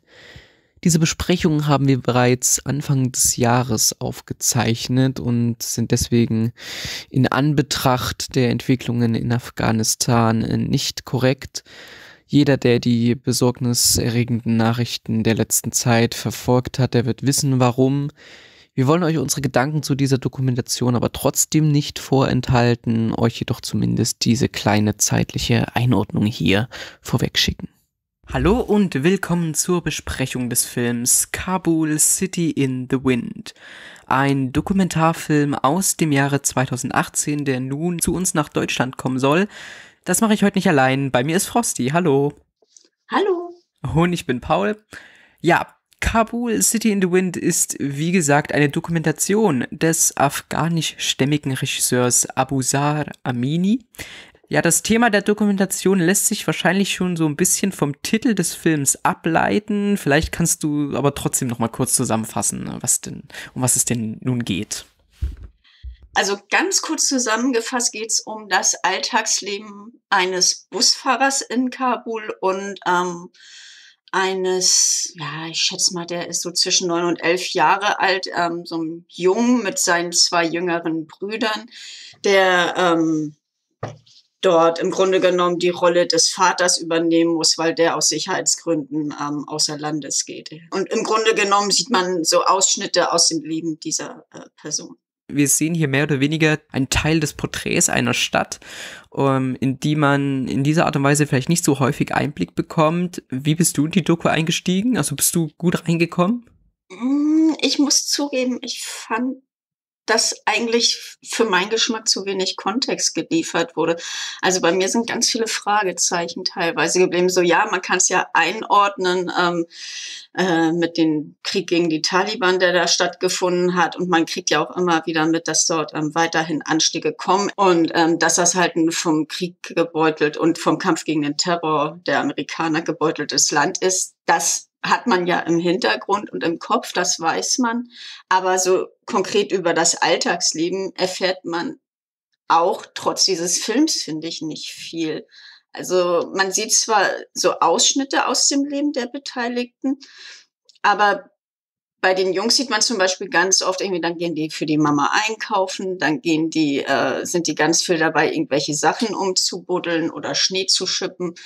Aber man kriegt halt nur so am Telefon einmal in einer Szene mit, wie der Junge dem Vater dann halt am Telefon erzählt, so ja, und ich gehe in die, Sch ich bin irgendwie der Beste in meiner Klasse und ich lerne brav den Koran und ich lerne Englisch, wo ich dann echt so am Schwimmen war, weil irgendwie, dass ich einfach zu wenig über das System weiß, dass ich jetzt nicht weiß, lügt er gerade seinen Vater an oder geht er halt wirklich in der Schule, aber es wird im Film nicht gezeigt. Also ich hatte das Gefühl, ich krieg so ein unvollständiges Bild gezeigt beziehungsweise habe nicht habe selbst halt nicht genügend Kontext, um beurteilen zu können, wie vollständig dieses Bild ist. Das kein vollständiges Bild, zum Beispiel mit dem Schulleben, das habe ich mich tatsächlich auch gefragt. Da war ich mir auch unschlüssig, aber es hat mich nicht so gestört, denn für mich hat es dann den Eindruck erweckt, dass das einfach nicht wichtig ist. Die Dokumentation legt den Fokus auf diesen dieses Alltägliche, was dann für uns nicht immer alltäglich ist, wenn dann dort äh, immer wieder über Anschläge gerichtet wird oder heute sind mal 50 oder 60 Menschen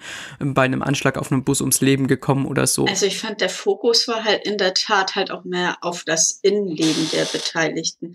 Also es gibt so ein paar ganz wenige Szenen, wo ähm, im Grunde genommen erst der ganz kleine Junge was erzählt, dann irgendwie mal der Busfahrer und später dann auch der schon ein bisschen jugendlichere Junge. Und dann werden die halt auch immer vor allem nach ihren Träumen gefragt. Also es geht sehr darum, wie fühlen die sich. Und ich finde, es wird auch ähm, gleich am Anfang wird das Ganze ja damit eröffnet, dass die Jungs mit ihrem Vater ähm, so ein im Grunde genommen so eine Art Gedenkstätte für ähm, die Toten eines Anschlags ähm, besuchen. Der Film führt schon darin ein, irgendwie hier geht's, ist der Tod im Grunde genommen was Alltägliches, was irgendwie immer so ein bisschen im Hintergrund schwingt. Und ich fand gerade diese Szenen haben halt auch diese Sprachlosigkeit im Grunde genommen gezeigt. Ja. Ne? Ähm, Weil, weil die halt wirklich erstmal nach Worten finden müssen. Und halt auch, wenn die von ihren Träumen ja. berichtet haben, das waren meistens Träume, die damit zu tun haben, dass irgendwo der Tod droht. Ne? Also im Grunde genommen, mhm. da merkt man schon, dass das eigentlich, was für verheerende Auswirkungen das hat. Nun ist, heißt diese Dokumentation, trägt diese Dokumentation ja den Untertitel City in the Wind. Man sieht dann tatsächlich auch wirklich verbildlich zum Beispiel so einen, einen kleinen Sandsturm durch die, ähm, durch das Bild huschen und dort Leute kurz, also mitnehmend.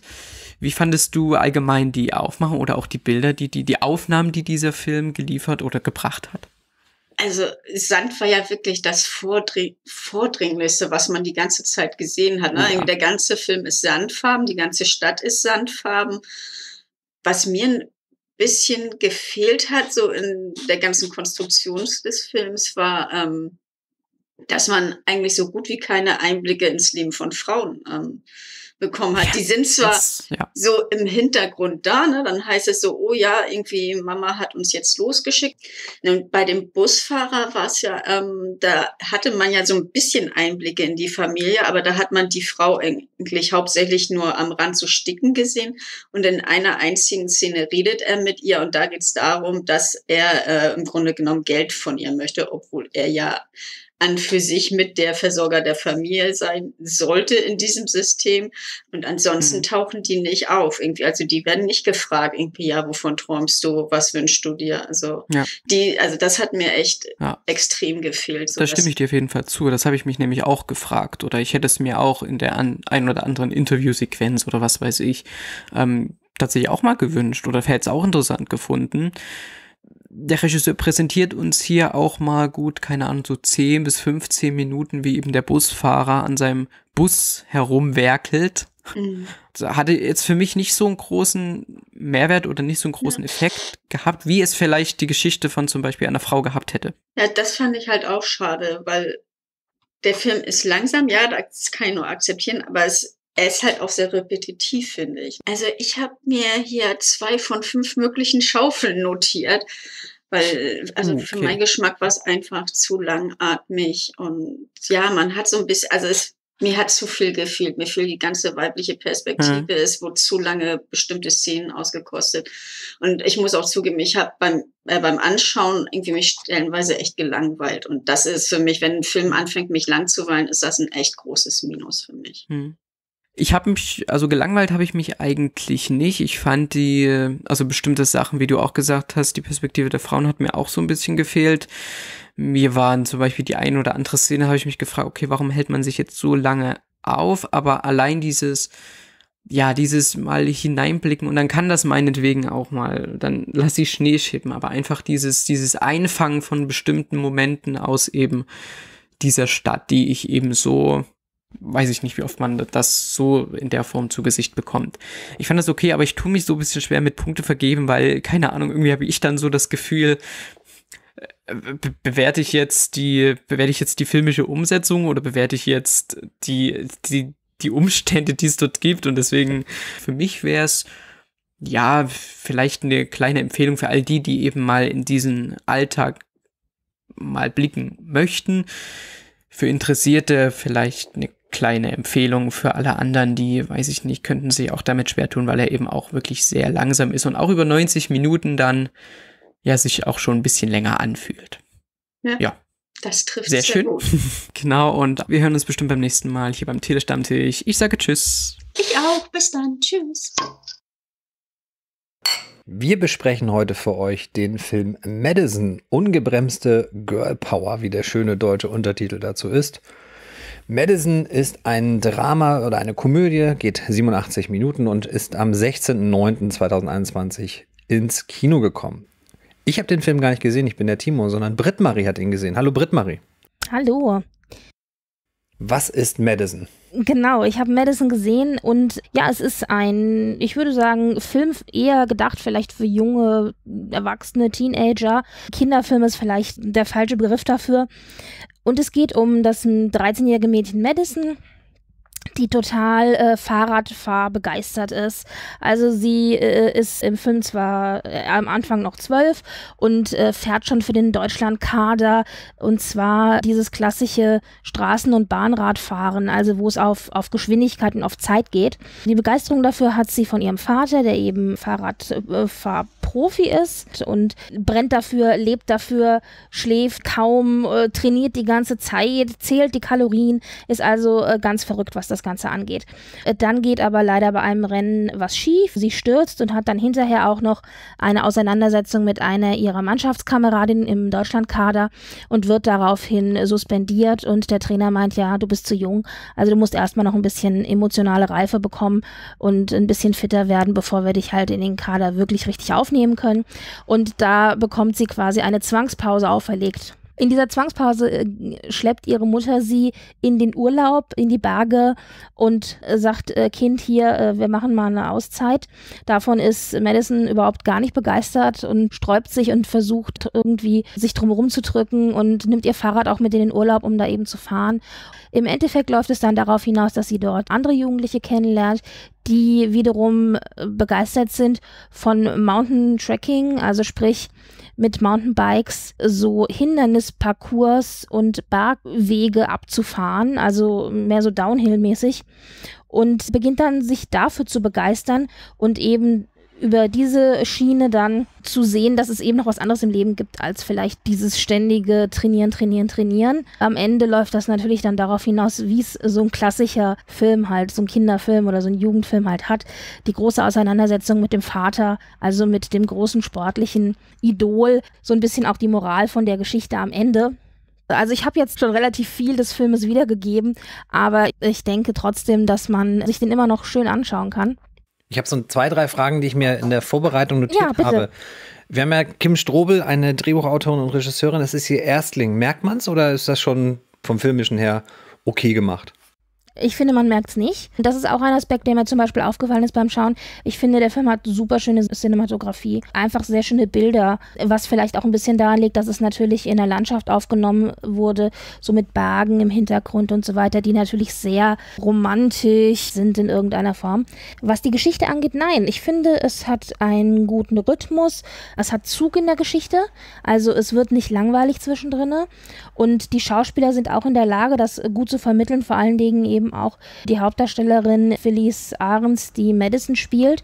Positiv finde ich ja auch, dass Madison gar nicht so eine super sympathische Figur ist. Also Mhm. das hat man ja oft in so Kinderfilmen, dann hat man eben die, die, die sympathische Hauptfigur und äh, das Herz schlägt mit. Und in diesem Fall ist es aber so, dass man Madison eigentlich am Anfang total doof findet, weil die so verbissen ist und so mit ihrem Kopf nur Sport, Sport, Sport, äh, Ehrgeiz, Erfolg, Wettbewerbe, Gewinnen ist alles, dass man sie irgendwie überhaupt nicht so als positive Figur wahrnimmt. Deswegen hast du auch eine Entwicklung im Charakter dann. Okay. Für so einen Kinderfilm ist es schon alles, hat es alles sehr gut Hand und Fuß, muss ich sagen. Du hast die zweite Frage auch schon beantwortet. Die wäre nämlich gewesen, wie sich so die Kinderdarsteller schlagen, weil ich vor kurzem auch einige Filme gesehen habe mit jungen Darstellern, die mich eher weniger überzeugt haben. Aber da hast du gesagt, gerade die Felice oder Felicia Ahrens, die, der kann man das abnehmen. Ja, und sie ist auch diejenige, die wirklich hauptsächlich tatsächlich den Film trägt. Also es gibt natürlich noch ein paar andere Figuren, ja, die sind okay. Keiner von denen spielt schlecht, definitiv nicht. Alle bringen eine solide Leistung, aber äh, wie gesagt, die Hauptdarstellerin selber sehr gut. Und wen ich auch ganz gut noch fand, waren tatsächlich ihre Eltern. Das ist zum einen Maxi Wawel als Katharina, ihre Mutter, und dann Florian Lukas als Timo, ihr Vater. Und ich musste auch sagen, den einzigen Schauspieler, den ich in dem Film kannte, tatsächlich war Florian Lukas. Der Rest war mir unbekannt. Aber die beiden geben dem Ganzen noch einen schönen Rahmen. Das funktioniert ganz gut. Das klingt doch gut. Da bin ich ja mal gespannt auf deine Bewertung. Du hast den Film gesehen, ich nicht. Deswegen schlag vor, wie bewerten wir? Ein von fünf Rennrädern oder wie machen wir es? ja, also äh, fünf äh, am besten und eins natürlich am schlechtesten. Ich würde dem Film vier Rennräder geben. Es war ein ordentlicher Film, ein bisschen besser als zufriedenstellendes Mittelmaß, sagen wir mal. Und er äh, hat auf jeden Fall Spaß gemacht und da kann man schön mal anderthalb Stunden investieren, auch als Erwachsener und sich das einfach angucken. Das klingt doch nach einem einladenden Kinonachmittag mit den jungen Erwachsenen oder mit kleinen Teenies. Ja, dann haben wir es schon mit unserer Besprechung für Madison. Britt-Marie, ich danke dir, dass du ihn für uns geschaut hast und eine Empfehlung aussprechen konntest. Dir gebühren die letzten Worte. Ich sage auf jeden Fall schon mal Tschüss, Tschüss. Viel Spaß beim Schauen. Tschüss. Hey. Ja, grüezi alle miteinander an den Endgeräten. Wir sind heute bei der Besprechung zum Film Moskau einfach. Und damit beende ich auch diese furchtbar schlechte dialektische Imitation. Es ist nun mal ein Schweizer Film. Und wir sind nicht allein, denn äh, ich bin der Berg und mit dabei habe ich die Kati. Hallo. Grüß dich.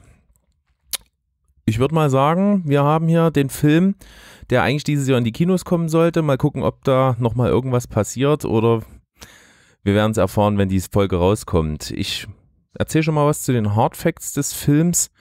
Wie gesagt, eine Schweizer Produktion aus dem Jahre 2020, geht 99 Minuten, ist ein Film von Misha Lewinsky und hat in den Hauptrollen Philippe Graber und Miriam Stein äh, und ist eine Produktion, die, sage ich mal, als Komödie deklariert wird, beschäftigt sich aber mit äh, wahren Begebenheiten, die in der Schweiz 1989 stattgefunden haben sollen, so oder so ähnlich und zum Inhalt schalte ich einfach mal zu dir rüber. Ja, also wie gesagt, es spielt äh, 1989 in der Schweiz und es ist eine Zeit, wo es in der Schweiz eine Volksabstimmung gegeben hat zur Abschaffung der Armee.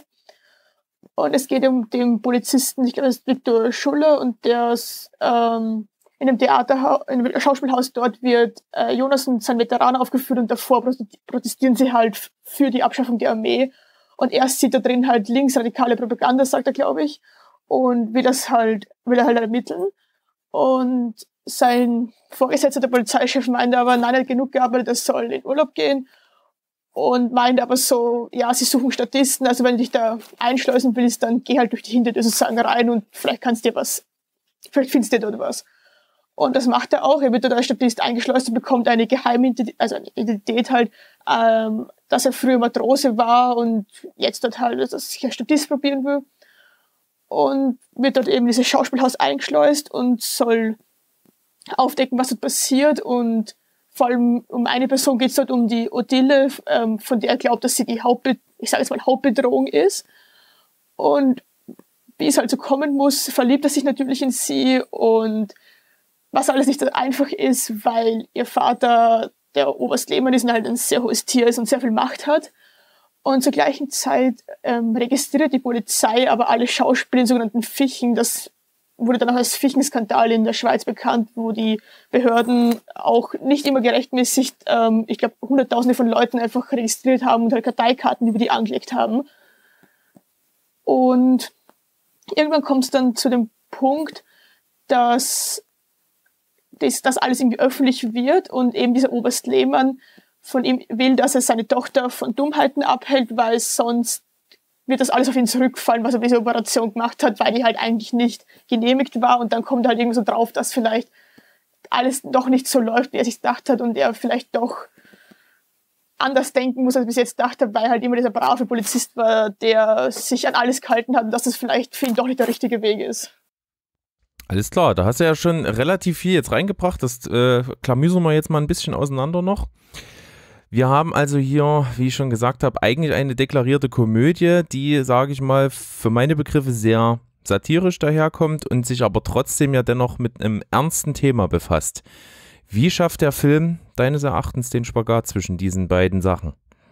Ich finde, es gibt, also es ist keine klassische Komödie, also, dass du irgendwie eine Fiedler, eine Punchline hast und dort einfach den Witz so kriegst, sondern es ist viel, wie ich finde, mit, mit Bildern, die oder mit einfach mit Situationen, die einfach in dem ganzen Kontext irgendwie komisch sind. Vor allem diese, du hast diese zwei Welten von diesem regelkonformen Polizisten, der sich nie was zu Schulden kommen hat lassen, und von dieser Freidenker-Theaterwelt. Und allein wie diese Welten aufeinander prallen, das ist per Definition einfach schon irgendwo komisch, weil es einfach komplett verschiedene Ansichten sind. Und auch wie er seine neue Identität und so annimmt und dann irgendwie dort am Küchentisch sitzt und versucht, ähm, sich Knotenbinden beizubringen, weil er halt jetzt Matrose ist und das irgendwie sich denkt, dass er das können muss. Und das finde ich ist irgendwie die Stärke von dem Film, weil es ist einfach, einfach diese, aus der Situation heraus einfach komisch meistens. Obwohl es um ein erstes Thema Ja. geht und das ist sehr gut gelöst, finde ich. Da stimme ich dir auf jeden Fall zu. Es geht mir eigentlich ähnlich, dass ich mir dachte, diese skurrilen Situationen aufgrund der Verschiedenheit der Welten ist eigentlich das, wo sich der, der Witz eigentlich äh, an dem Ganzen herauszieht. Und das äh, wirkt, finde ich, halt einfach nicht so aufgesetzt. Ähm, als würde man jetzt irgendwie Szenen schreiben, wo jetzt irgendwelche Gags drin sind, wo jemand was Lustiges sagt, sondern es ist halt viel, wie du sagst, Situationskomik. Und das gefällt mir eigentlich auch gut. Jetzt müssen wir natürlich darauf zu sprechen kommen, dass, ähm, ja, wir haben ja natürlich einen Schweizer Film und wie die Schweizer so sind, bringen die da ihre Sprache rein. Wir haben also deutlich über die Hälfte der gesprochenen Sprache hier in Schweizerdeutsch. Und das ist untertitelt, gnädiger Art und Weise. Ansonsten hätte man wahrscheinlich kaum eine Chance, das richtig verstehen zu können, da es ja wirklich sich nicht Mühe gibt, irgendwie verständlich im Hochdeutsch, dem Hochdeutsch irgendwie nahe zu kommen. Wie hast du das empfunden? War es für dich eher störend oder hat es dazu beigetragen, dass es authentischer Also wirkt? ich komme aus Österreich und das ist vielleicht dann nicht ganz so schlimm. Also ich habe auch ein, also sehr viel eigentlich so verstanden. Ne? Ähm, und ich finde, es ist ein Schweizer Film, wir spielen in der Schweiz, wir sollten sie nicht ihre Sprache reden, also stört mich das überhaupt nicht. Und wie gesagt, es gibt Untertitel, also finde ich das total okay. Also ich kam damit auch gut zurecht und ich fand auch tatsächlich, dass ähm, das dem Film auch so ein bisschen eine Lockerheit gegeben hat, weil es einfach auch natürlich in der Schweiz spielt und dementsprechend auch diese, diese für, sag ich mal, Deutsche, die, die das Deutsch kennen, äh, eine Sprache ist, die so ein bisschen lustig auch einfach äh, klingt einfach, weil man es nicht versteht. Es ist irgendwie, es hat was Kauziges, was Uriges irgendwie und deswegen fand ich, dass das ganz gut rüberkommt. Ja, und vor allem, du hast ja dann den Regisseur, der ja zum Beispiel Deutscher ist und der spricht dann halt logischerweise im Hochdeutsch und so ist auch dieses, diese, diese Differenz und so nochmal gegeben. Das fand ich eigentlich schon ganz ziemlich cool. Das stimmt, äh, denn die Krux ist ja, dass äh, vor allen Dingen auf diese Theatergruppe ja aufmerksam äh, wird, weil der Regisseur, der das Ganze inszeniert, kommt ja aus der DDR, was ja sozusagen die gegensätzliche Ideologie dessen ist, was da in der Schweiz eben gerade so vorherrscht und überwacht wird und dementsprechend da dass der Dorn im Auge ist, wo sich es eben vor allen Dingen lohnt, da mal einen genauen Blick zu werfen. Du sagst es, es er wird eingeschleust mit einer fremden Identität. Und jetzt gehen wir einfach mal darauf ein, das ist ja eine größere Theatergruppe, freidenkende Menschen. Es sind ja auch viele Nebenfiguren mit am Start. Ähnlich auch wie der Regisseur selbst, der auch ja so eine gewisse, äh, sag ich mal, sehr einzigartige Art und Weise hat, mit den Leuten umzugehen. Wie fandst du das in den Nebenrollen besetzt? Ähm, also ich fand generell, also alle Schauspieler, ich finde, die haben das alle super rübergebracht, was sie, also ich fand diesen Radiomoderator, der war eigentlich mein Highlight, den fand ich mega. Ähm, auch wie er dann diesen, es gibt dann später im Film eine, also eine Szene mit ihm, dass er halt keinen Job findet und so, das fand ich, den fand ich echt gut und auch sonst, also den, der was seinen Statistenkollegen spielt und so, die waren, die waren alles super. Das hat so Spaß gemacht, denen zuzuschauen dabei. Jo. Auf jeden Fall. Wir haben natürlich auch dann verschiedene Verwicklungen, die wollen wir jetzt natürlich nicht vorwegnehmen. Das ist natürlich dann interessant, wenn man den Film schaut, aber trotzdem ist es eine klassische Story, die, sage ich mal, von Anfang an schon so ein bisschen vorgezeichnet ist. Wie sehr kommt man denn damit klar, dass der Film sich natürlich auch normalen, äh, sage ich mal, Liebes-Romanzen-Klischees bedient? Ja, das ist, also ich meine, die, die Story rundherum basiert ja einigermaßen auf wahren Ereignissen, auch mit dem Fall und so, dass ich habe da ein bisschen eingelesen da, weil ich es interessant fand und das ist ja alles so passiert. Und diese Liebesgeschichte, ja, die trägt halt ein bisschen zum Charakter von dem Polizisten bei, dass er sich halt dann irgendwie zwischen den zwei Welten entscheiden muss, ist halt klischeehaft, aber fand ich jetzt auch nicht. Also es gab ja Filme, wo ich das irgendwie störender fand, wenn so eine Liebesgeschichte dabei war. Ja, ich denke schon. Also es ist äh, so, dass man sich daran entlanghangelt. Man weiß natürlich, ähm, worauf so das hinausläuft, dass er sich verliebt und dass er dann vielleicht doch seine Meinung ändert und so weiter. Das ist von vornherein klar aber es geht eben ja auch nicht darum, sondern es geht ne, prinzipiell auch darum, diese Geschichte, die dann wirklich so gewesen ist, zu vermitteln, die also diese Geheimpolizei mit den Fischen, die da angelegt werden, über Leute, die, sage ich mal, nicht so systemkonform sind. Das ist ja eigentlich die ernste Thematik, die dem Film zugrunde liegt. Wie fandst du das vermittelt? Also ich muss sagen, wie gesagt, ich habe ein bisschen eingelesen, ich habe auch gelesen, dass es über den Regisseur selber solche, also eine Fische gab. Und deswegen fand ich es auch interessant, dass er das halt als Komödie umgesetzt hat, aber er hat es selber mit Erfahrung gemacht, also wird es am besten wissen.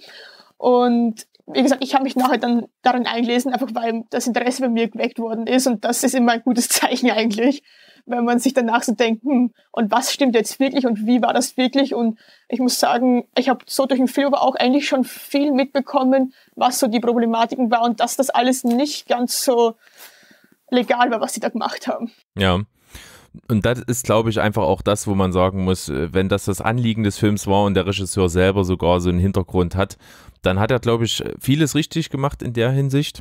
Und wenn du nicht nochmal irgendeinen Aspekt hast, können wir so langsam auch zum uh, Ich wollte noch sagen, dass ich ihn, äh, er dauert zwar nur 99 Minuten, aber es sind mir auch nicht die 99 Minuten vorkommen. Also ich fand ihn sehr kurzweilig, äh, was immer gut ist. Und ich fand die Musik sehr gut, die ist mir irgendwie in Erinnerung geblieben. Ich weiß nicht, wie es dir gegangen ist. Ja, natürlich dann auch so typische Revoluzer-Songs so ein bisschen mit ja. drin, äh, was natürlich auch da verpönt war. Ist natürlich bei so einem Film ein probates Mittel. Wir kennen das aus ähnlichen Filmen, die, sag ich mal, so nost äh, ostalgisch sozusagen sind. Alles, was so mit der DDR ist, da ist ja auch gerne im Soundtrack mal so ein bisschen was Rebellisches, Rockigeres. Das bringt natürlich so einen frischen jugendlichen Wind auch rein. Genau, also, wir sagen mal jetzt einfach, wie wir so insgesamt den Film fanden, was gut war, was schlecht war, wer den Film am besten guckt und vergeben ähm, ganz üblich hier 0 bis 5. Ich würde sagen, abrasierte Schnauze. Abrasierte Schnauze, finde ich gut. ähm, ich fange mal an. Äh, also wie gesagt, er hat mir sehr gut gefallen. Er hat Interesse bei mir geweckt, obwohl es keine Dokumentation war, was immer sehr löblich ist. Ich fand den Humor und die Satire, wie sie umgesetzt worden ist, sehr gut. Also ich habe oft gelacht, auch manchmal trocken, weil es halt manchmal echt einfach die Situation, die einfach saukomisch ist, ist. Und jeder, der irgendwie Freude an Satire oder an Komödie oder irgendwie daran geschichtlich interessiert ist, kann den Film auf jeden Fall ohne Probleme schauen und er dauert ja auch nur knapp eineinhalb Stunden, also auf jeden Fall die Zeit wert. Und ich gebe ihm vier von fünf abrasierten Schnauzern. Na wunderbar. Ich kann mich im Großen und Ganzen total anschließen. Mir hat der Film einfach Spaß gemacht, wie du schon gesagt hast, total unterhaltsam. Die Schauspieler äh, kennt man jetzt nicht so breit gefächert, das ist schon ein bisschen was Spezielleres. Dadurch wirkt es aber auch irgendwie unverbraucht und frisch. Man steckt die nicht in irgendwelche Schubladen, was glaube ich einfach hier ganz wichtig ist. Wer also gerne mal so einen Film sieht, der authentisch so ein, so ein Zeitdokument ist quasi und auf reale Begebenheiten aufmerksam macht, die in der Vergangenheit abgelaufen sind, der ist ja absolut gut aufgehoben, glaube ich. Mir hat vor allen Dingen gefallen, dass man sich satirisch genähert hat dem Thema, dass es einfach nicht äh, total ernst und trocken war, sondern einfach durch dieses Aufeinanderprallen der Welten so lustig frisch dahergekommen ist, ohne zu künstlich witzig sein zu wollen. Und deswegen schließe ich mich an. Ich nehme auch vier abrasierte Schnauzer, weil mir das gut gefallen hat. Und an der Stelle sind wir eigentlich durch. Ich bedanke mich bei dir, bedanke mich bei den Zuhörern. Wir sind das nächste Mal wieder am Start. Ähm, schaltet wieder beim Telestammtisch ein und schaut euch Moskau einfach an. ciao, ciao. Tschüss. Hallo und herzlich willkommen zur Besprechung des französischen Films Operation Portugal von Frank Simiere, Simiere, der am 23.09.2021 in den deutschen Kinos startet. Mit mir operiert heute Theresia. Hallo. Hallo Paul. Und zum Glück operieren wir hier keine Menschen, sondern arbeiten uns heute an diesem tollen Filmstück ab. Ja. Theresia, ja. Worum geht es in Operation Portugal? Äh, in dem Film geht es hauptsächlich um den, ja, ich würde mal sagen, Streifenpolizisten Hakim. Ähm, er ist marokkanischer Herkunft, lebt mit 35 auch noch bei seiner Mutter und er liebt seinen Job, aber er ist auch, würde ich mal sagen, sehr ungeschickt und tollpatschig und ist nicht unbedingt bei seinen Vorgesetzten sehr beliebt. Aber wegen seiner Ähnlichkeit zu einem Verdächtigen ähm, soll er in eine portugiesische Familie eingeschleust werden und muss jetzt quasi innerhalb kurzer Zeit ähm, auf Portugiesisch getrimmt werden. Ähm, und die Familie, bei der er sich eben einschließen soll, die wird eben verdächtigt, auf ihrer Baustelle mit irgendeinem drogenversetzten Zement quasi zu handeln oder zu dealen und soll da jetzt eben herausfinden, was Sache ist. Genau, das Ganze ist eine Komödie, eine französische Komödie, also, die die Lachmuskeln mal so richtig in Schwung bringen soll. Und ich glaube, ich kann es jetzt schon vorneweg sagen und auch vielleicht für dich sprechen, dass dieser Film das nicht geschafft hat. Nee, leider hat er das bei mir nicht geschafft. Nein, bei mir auch nicht. Das Ganze, also natürlich können wir jetzt hier vorneweg äh, schieben, so gerade das Genre Komödie ist natürlich subjektiv. Wenn jemand was lustig findet, ja, dann kann er auch mit diesem Film hier Spaß haben. Aber es gibt hier auch darüber hinaus, also mal abgesehen von diesem Humor hier, so ein paar Dinge, ach, die weiß ich nicht. Also muss das bei so einem Film heute noch sein, aber wir fangen mal an. Der Film eröffnet mit einer Sequenz, in dem unser Hakim, ist jetzt ein kleiner Spoiler, ähm, in einem Kühlwagen eingeschlossen wird und sich dann dort den Weg frei pinkeln will und mit seinem besten Stück dann an der vereisten Wagentür fest vereist. Und ich sag mal so, so viel, viel höher wird das Niveau in diesem Film nicht. Ja, das stimmt leider. Also ich, ich hatte mir aus dem Trailer auch noch etwas mehr Humor erhofft, aber es waren halt im gesamten Film über eben keine Witze, die, sie, die sich mehr als Schenkelklopfer eben erweist haben. Also es war jetzt nichts dabei, wo ich mal herzhaft hab lachen müssen. Das meiste ist eben, ja, Slapstick, den man vielleicht auch schon so einmal zu oft gesehen hat. Oder es sind halt dann auch solche Witze in Anführungszeichen, die eben so lange ausgewalzt werden, obwohl sie irgendwie schon beim ersten Mal jetzt nur so semi-amüsant waren. Oder es gibt hier zum Beispiel Nebenfiguren, ich glaube, das waren zwei Polizisten rund um Interpol, die immer mal eingeblendet werden und dann was also was, keine Ahnung, gewollt Lustiges machen, was aber eigentlich nicht lustig ist. Und so schleppt man sich hier durch, ich weiß gar nicht, wie lange der geht, 90 Minuten vielleicht, ja. Ja. Das ist jetzt nicht mal lang, aber in diesem Film schon. Ja, es waren halt auch so, also man hätte auch, finde ich, mehr draus machen können. Klar ist es die Erfindung jetzt nicht neu, dass sich jemand irgendwo anders einschleusen muss und eigentlich mit der Kultur oder mit der Sprache eben überhaupt nichts zu tun hat.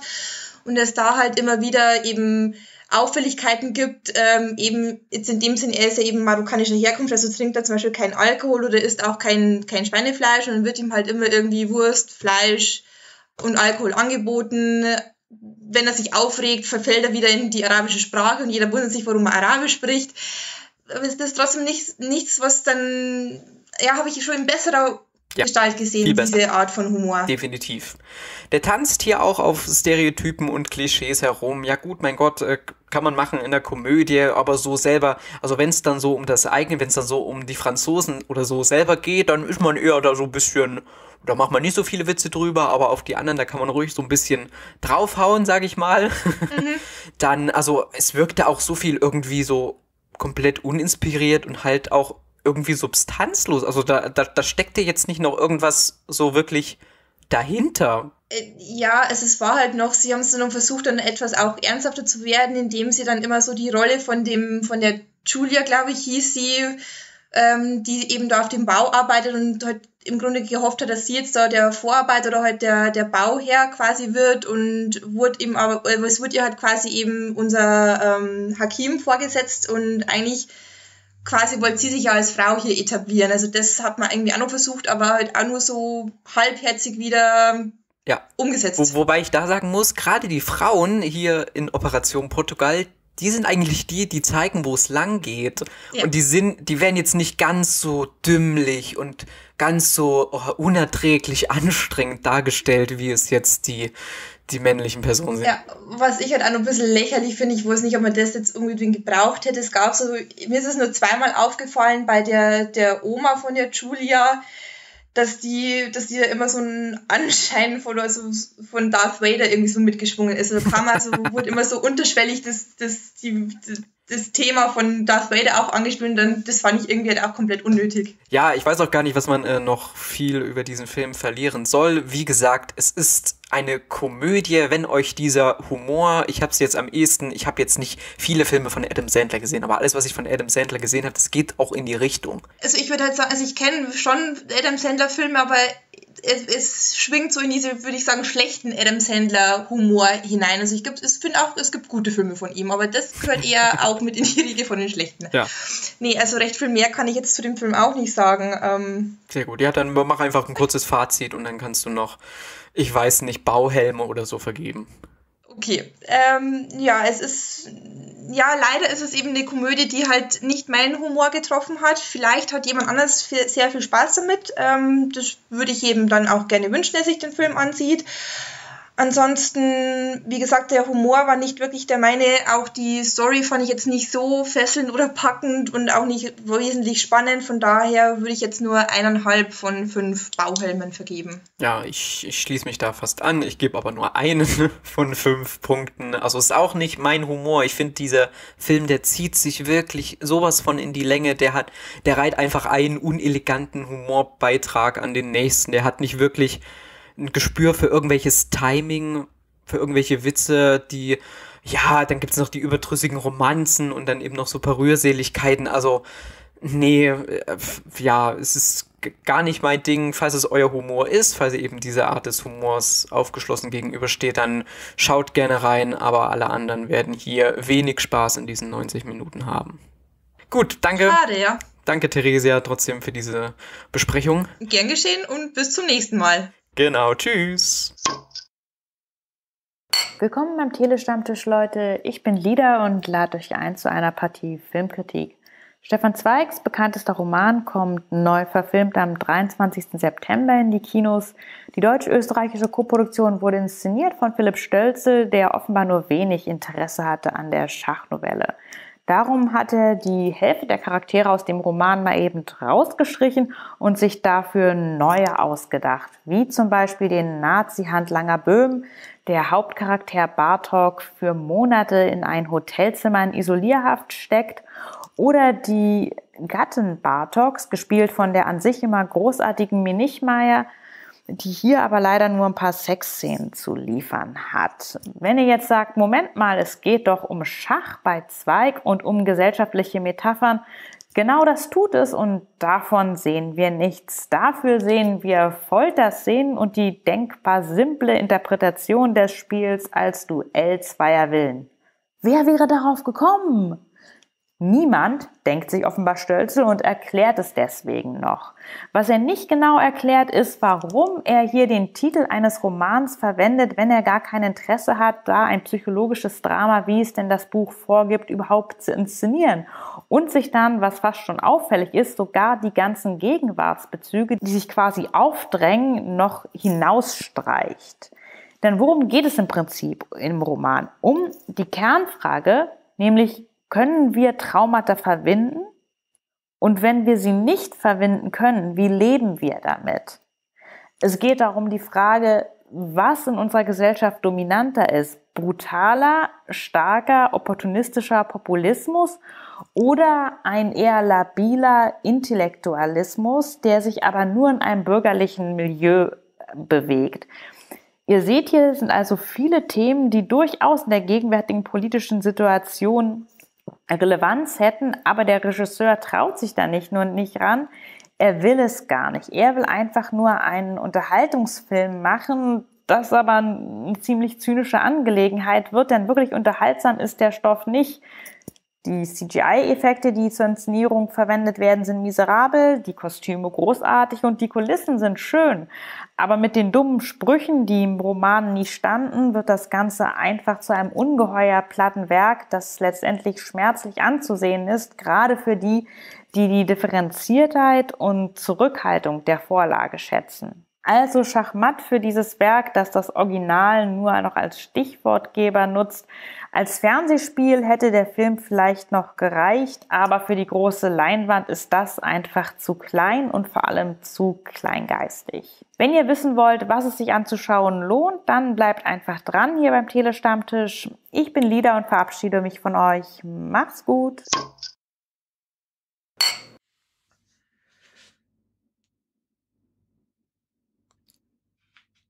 Selbst wer kein True Crime Fan ist, hat den Namen Ted Bundy sicherlich schon mal gehört. Und nein, ich rede nicht von Al Bundy, das ist was anderes. Wir reden von Ted Bundy. Einem ziemlich charismatischen Serienmörder. Und der hat jetzt mal wieder einen Film bekommen. Quasi einen Film über ihn, mit ihm, wie auch immer man das sehen will. Dieser Film heißt No Man of God. Und den haben wir, das heißt der gute Nico, einen wunderschönen guten Tag. Guten Tag, Kenny und meine Wenigkeit äh, gesehen, jetzt vorab. Und wir wollen darüber jetzt ein bisschen reden. Möchtest du mal zusammenfassen, worum es in diesem Film geht? Es geht in Ted Bundy No Man of God um eine Reihe von Interviews, die ein FBI-Agent in den 80er Jahren geführt hat. Und das auch ähm, aufgrund von den Transkripten, die da erstellt wurden und auch aus der Erinnerung von ihm. Und es zeigt so ein bisschen die mir diesen Kampf zwischen Ted Bundy und diesem FBI-Agenten, wie ähm, man äh, wie man in seinen Kopf reinkommt oder was er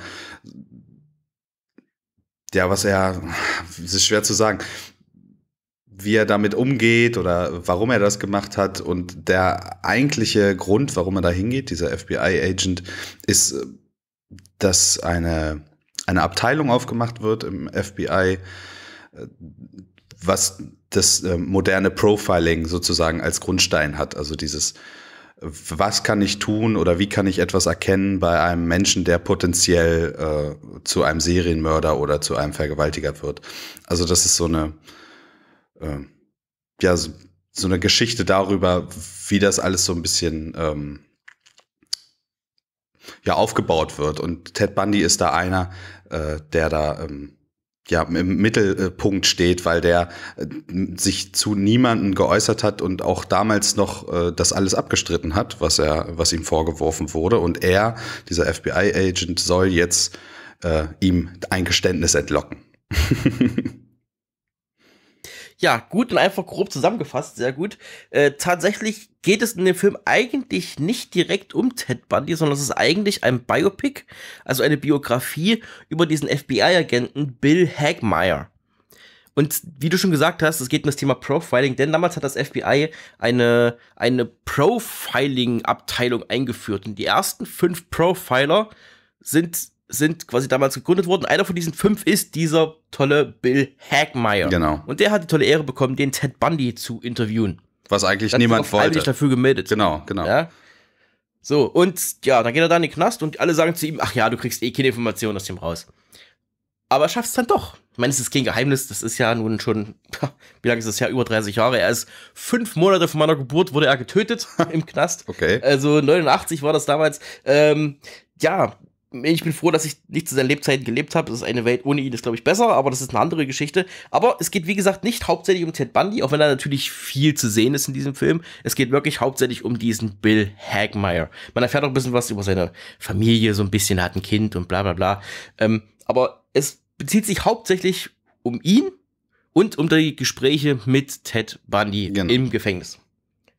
Dabei hat, der Film auch nicht gerade viele Kulissen. Also es gibt gerade mal diesen einen Verhörraum dort im Gefängnis, wo er die ganze Zeit mit ihm sitzt und da mit ihm redet. Dann gibt es noch ein paar Szenen, wo er im Auto durch eine Stadt fährt. Dann gibt es noch ein paar Szenen äh, in einem größeren Raum im Gefängnis, wo äh, später so ein Fernsehinterview geführt wird und dann halt vielleicht so ein FBI-Büro. Ja, das war's. Also es gibt da nicht viel groß, viele Szenen, so ein Kram, sondern es ist wirklich über 60 Minuten des Films von den einer Stunde und 40, also 100 Minuten, sind in dieser, sind in diesem Interviewraum. Und da hat man halt diese, diese Unterhaltungen von Ted Bundy. Und ich muss sagen, Ted Bundy gespielt von Luke Kirby und Bill Hagmeyer, der FBI-Agent, gespielt von Elijah Wood. Den muss ich nicht erklären, oder? Das ist Frodo. Hallo? ich, ich kannte den nicht. Nein, Spaß.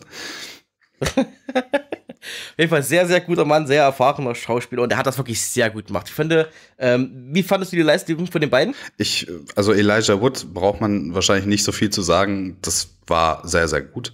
Luke Kirby fand ich auch ziemlich gut. Also wenn man sich mal so Videos anschaut, wie Ted Bundy sich wirklich gegeben hat, wie er gesprochen hat, wie er mit Leuten gesprochen hat, das ist ja eine sehr, sehr gute Leistung, finde ich. Ja, tatsächlich gibt es ja sehr viele äh, Filmaufnahmen und Fernsehaufnahmen von Ted Bundy, der war ja ziemlich oft vor der Kamera. Und ich weiß nicht, hast du noch andere Sachen, Filme gesehen über das Thema Ted Bundy, zum Beispiel diese Ted Bundy Tapes, diese Doku auf Netflix oder zum Beispiel hier Extremely, Shockingly, Evil and Vile hier mit ähm, dem jungen Schauspieler vor zwei Jahren kam der raus. Ich glaube, du weißt, was ich meine, oder? Hast du den auch gesehen? Ich habe die Ted Bundy äh, Doku gesehen. Ähm, was ich aber viel mehr oder was, was mir viel mehr in den Kopf kam, als ich den Film jetzt gesehen habe, war ähm, Mindhunter, die Serie auf Netflix. Wir hatten ja kurz vorher schon drüber gesprochen. Das ist, geht ganz genau äh, darum, was auch jetzt in dem Film gezeigt wird, um diese um diese Organisation vom FBI, diese Profiling-Organisation, da werden etliche äh, Serienkiller interviewt und ich meine auch Ted Bundy. Und das ist also wirklich wenn man diesen Film mag, dann kann man sich ganz viel äh, noch anschauen bei Mindhunter. Das ist nämlich genau das gleiche, wird genauso gedreht. Äh, auch nur ein Raum, zwei äh, FBI-Agents unterhalten sich da mit einem Serienkiller und versuchen da so ein paar Sachen rauszufinden. Und ähm, das hat mich sehr, sehr stark daran erinnert und hat mich auch gefreut, weil ich Mindhunter super, super gut fand. Und also es wird man sagt ja immer, das moderne Kino, ganz viele Schnitte, ganz schnelle Schnitte und so lange Einstellungen machen, machen, die, machen die Zuschauer müde. Und das fand ich aber gerade nicht, weil es auch wirklich, also es hat einen ganz schön gefesselt, wenn die da ähm, sich so einen ja. Schlagabtausch gegeben haben, ne? Also verbal natürlich. Du klebst förmlich an deren Lippen. Auf jeden Fall, auf jeden Fall. Das kann zum einen an den charismatischen Schauspielern liegen, aber natürlich auch was, worüber die sprechen. Ne? Also es ist natürlich nichts Alltägliches. Und am Ende ähm, gibt es eine Szene da, da dachte ich echt so, Alter, das ist, äh, also du brauchst nicht mal Bilder, um dir das, also wirklich äh, diese Fantasie, die da Ted Bundy ähm, dem äh, dem Agent da äh, sozusagen vorspricht, das ist äh, echt krass gewesen. Ja. Also, wie gesagt, der Hauptfokus in diesem Film liegt auf Konversation. Da passiert wirklich nicht viel. Da gibt es keine großen Action-Szenen, da gibt es nicht viel drumherum. Es geht hauptsächlich um die Konversation zwischen Ted Bundy und dem FBI-Agenten. Und das ist so ein richtiger Charakterfilm. Der lebt von diesen beiden Schauspielern, deswegen erwähne ich jetzt auch keine anderen daneben bei. es gibt natürlich noch FBI-Kollegen und, und, und ähm, Gefängnismitarbeiter und ein paar Fernsehinterview-Leute und so ein Kram. Aber es geht wirklich hauptsächlich um diese beiden. Und das haben die richtig gut gemacht. Auf jeden Fall. Ich finde, ähm, der Luke Kirby hat den, den besten Ted Bundy, den ich je gesehen habe, von allen gesehen, finde ich. ja. Also, natürlich kenne ich Ted Bundy nicht persönlich, aber ich würde sagen, das wirkt sehr authentisch. Elijah Wood hat das mega gut gemacht. Er hat das einfach voll drauf an den seinen Lippen und an den seinen Augen. In seinen Augen. ja, also, das war an den seinen Augen. Das ist krass. Echt verrückt. Und das alles ist dieser Film. Also erwartet nicht zu viel. Es ist wirklich ein reiner Charakterfilm mit viel Konversation. Also wer konversationsreiche Filme mag, kommt hier auf seine Kosten. Wem das vielleicht zu langweilig sein könnte, der sollte vielleicht die Finger davon lassen, wenn das nur Gerede ist, wenn das einem langweilen sollte. Dann weg davon. Ähm, kommen wir mal zur Bewertung. Wie viele Punkte würdest du geben von 1 bis 5? Äh, vier Punkte. Oder 0 bis 5. Ganz klar, vier Punkte. Vier Punkte. Sehr gut. Da sind wir auf einem ziemlich gleichen Niveau. Ich habe auch vier. Ich war es so ein bisschen so zwischen 3,5 und 4. Aber ich finde es einfach charaktermäßig, schauspielermäßig ist es richtig gut gemacht. Auf jeden Fall. Aber wie gesagt, es ist wirklich nur was für Leute, die wirklich Bock haben auf dieses Thema allgemein. Es gibt ja mittlerweile viele Filme und Serien und so ein Kram über Ted Bundy. Ähm, von daher ist das nur für jemanden, der wirklich in diesem Thema drinsteht, der das wirklich mag. Ansonsten nicht vielleicht was für jeden, aber wirklich sehr gut gespielt. Das denke ich auch, auf jeden Fall. Guti, da würde ich sagen, sind wir hier durch. Ich danke dir vielmals für deine Zeit. Danke dir auch. Ich sag euch einmal Tschüss, bis zum nächsten Mal. Bis dann, ciao. Hallo, willkommen am Tele-Stammtisch zur Besprechung des Films The Sunlit Night. Ich bin der Stu und heute an meiner Seite ist zum einen die Nina. Hallo Nina. Hallo. Und der Andi ist auch da. Hallo Andi. Hallo, guten Tag. Ja, und Andi, an dich übergebe ich auch jetzt sofort, weil du kannst uns verraten, worum geht's in dem Film eigentlich. Ja, das kann ich machen. Die Künstlerin Frances, gespielt von Jenny Slate, steckt in einer Sinnkrise. Irgendwie im Liebesleben läuft es nicht gut. Äh, ihr langjähriger Freund hat sich von ihr getrennt. Bei der, in der Familie läuft es auch nicht gut, denn die Eltern wollen sich trennen. Die Schwester hat sich zwar verlobt, aber wie gesagt, äh, die Eltern wollen getrennte Wege gehen und ihre künstlerische Laufbahn ist auch nicht so pralle, also sie kriegt da relativ schlechte Kritiken auf ihre Kunst, äh, kriegt aber trotzdem das Angebot für ein äh, Stipendium, ein Kunststipendium in Norwegen. Und dadurch, dass es ihr halt eben gerade in, ich glaube New York ist die Stadt, wo sie wohnt, äh, nicht so gut gefällt, weil sie jetzt auch mit ihrem grummeligen Vater irgendwie einziehen muss in so ein kleines Studio. Er ist nämlich auch so eine Art Künstler, er zeichnet für medizinische Zeitschriften immer so Geschichten, aber er ist halt einfach ein bisschen super unangenehm und in diesem kleinen Studio ist es auch nicht so toll. Deswegen reißt sie halt einfach aus von diesem ganzen blöden Alltag, um in der Idylle des, im Norden von Norwegen auf einer kleinen Insel da ein ja, so eine Art Kunstprojekt zu betreuen da soll so eine Hütte gelb gemalt werden. Genau, und diesen, äh, diese Gelegenheit packt sie am Schopf einfach mal auszubrechen, kann man sagen. Und auf dieser Insel trifft sie dann auch noch diverse Gestalten. Erstmal diesen Künstler, der dieses Kunstprojekt hauptsächlich betreut und dann noch andere Leute, auf die wir bestimmt noch in der Besprechung eingehen, aber ich glaube mal so ganz grob, die Prämisse ist somit zusammengefasst, hoffe ich. Ja, es ist eine ganz ähm, ja, einfache, beziehungsweise so kennt man einfach, ne, die Geschichte. Ähm, es ist einfach eine junge Frau, beziehungsweise ein junger Mensch, ist in seinem, ihrem Leben irgendwie an einem Punkt angekommen, wo es halt nicht weitergeht. Dann brechen sie aus, gehen irgendwo hin und kommen dann irgendwann zurück wieder in ihr Leben sozusagen und sind total verändert. Das ist so ungefähr die Geschichte. yes. Äh, ich verteile jetzt mal einfach Lob an euch beide. Das habt ihr beide herausragend gut beschrieben.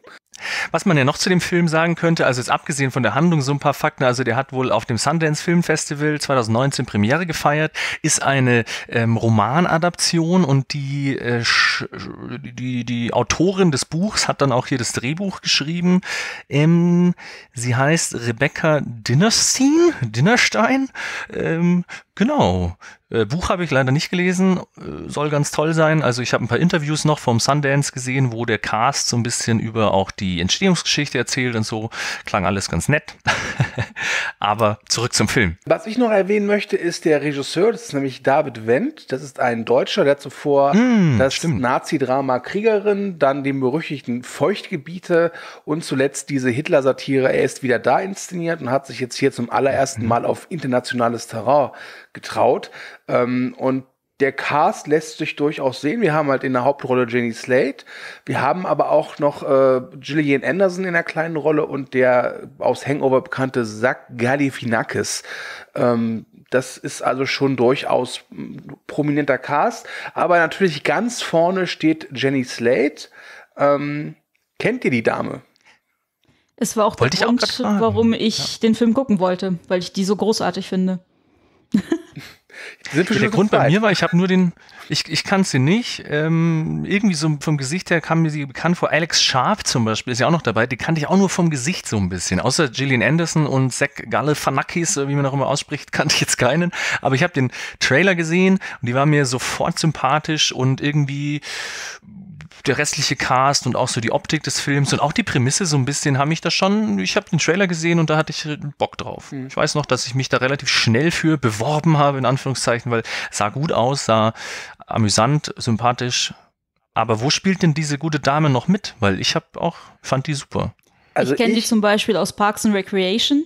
Ja. Da mhm. spielt sie äh, Mona Lisa, glaube ich, heißt sie. Genau, ja, Mona Lisa. Und ist halt die äh, nervige Schwester von einem nervigen Charakter. Und das, ist, oh. das macht sie einfach so großartig. Ich fand immer, wenn die halt äh, da zu sehen waren, fand ich sie großartig. Aber sie hat auch ganz viel in so kleinen Indie-Filmen mitgespielt, aber auch ähm, also ich sehe gerade hier, sie war Harley Quinn im Lego Batman-Film.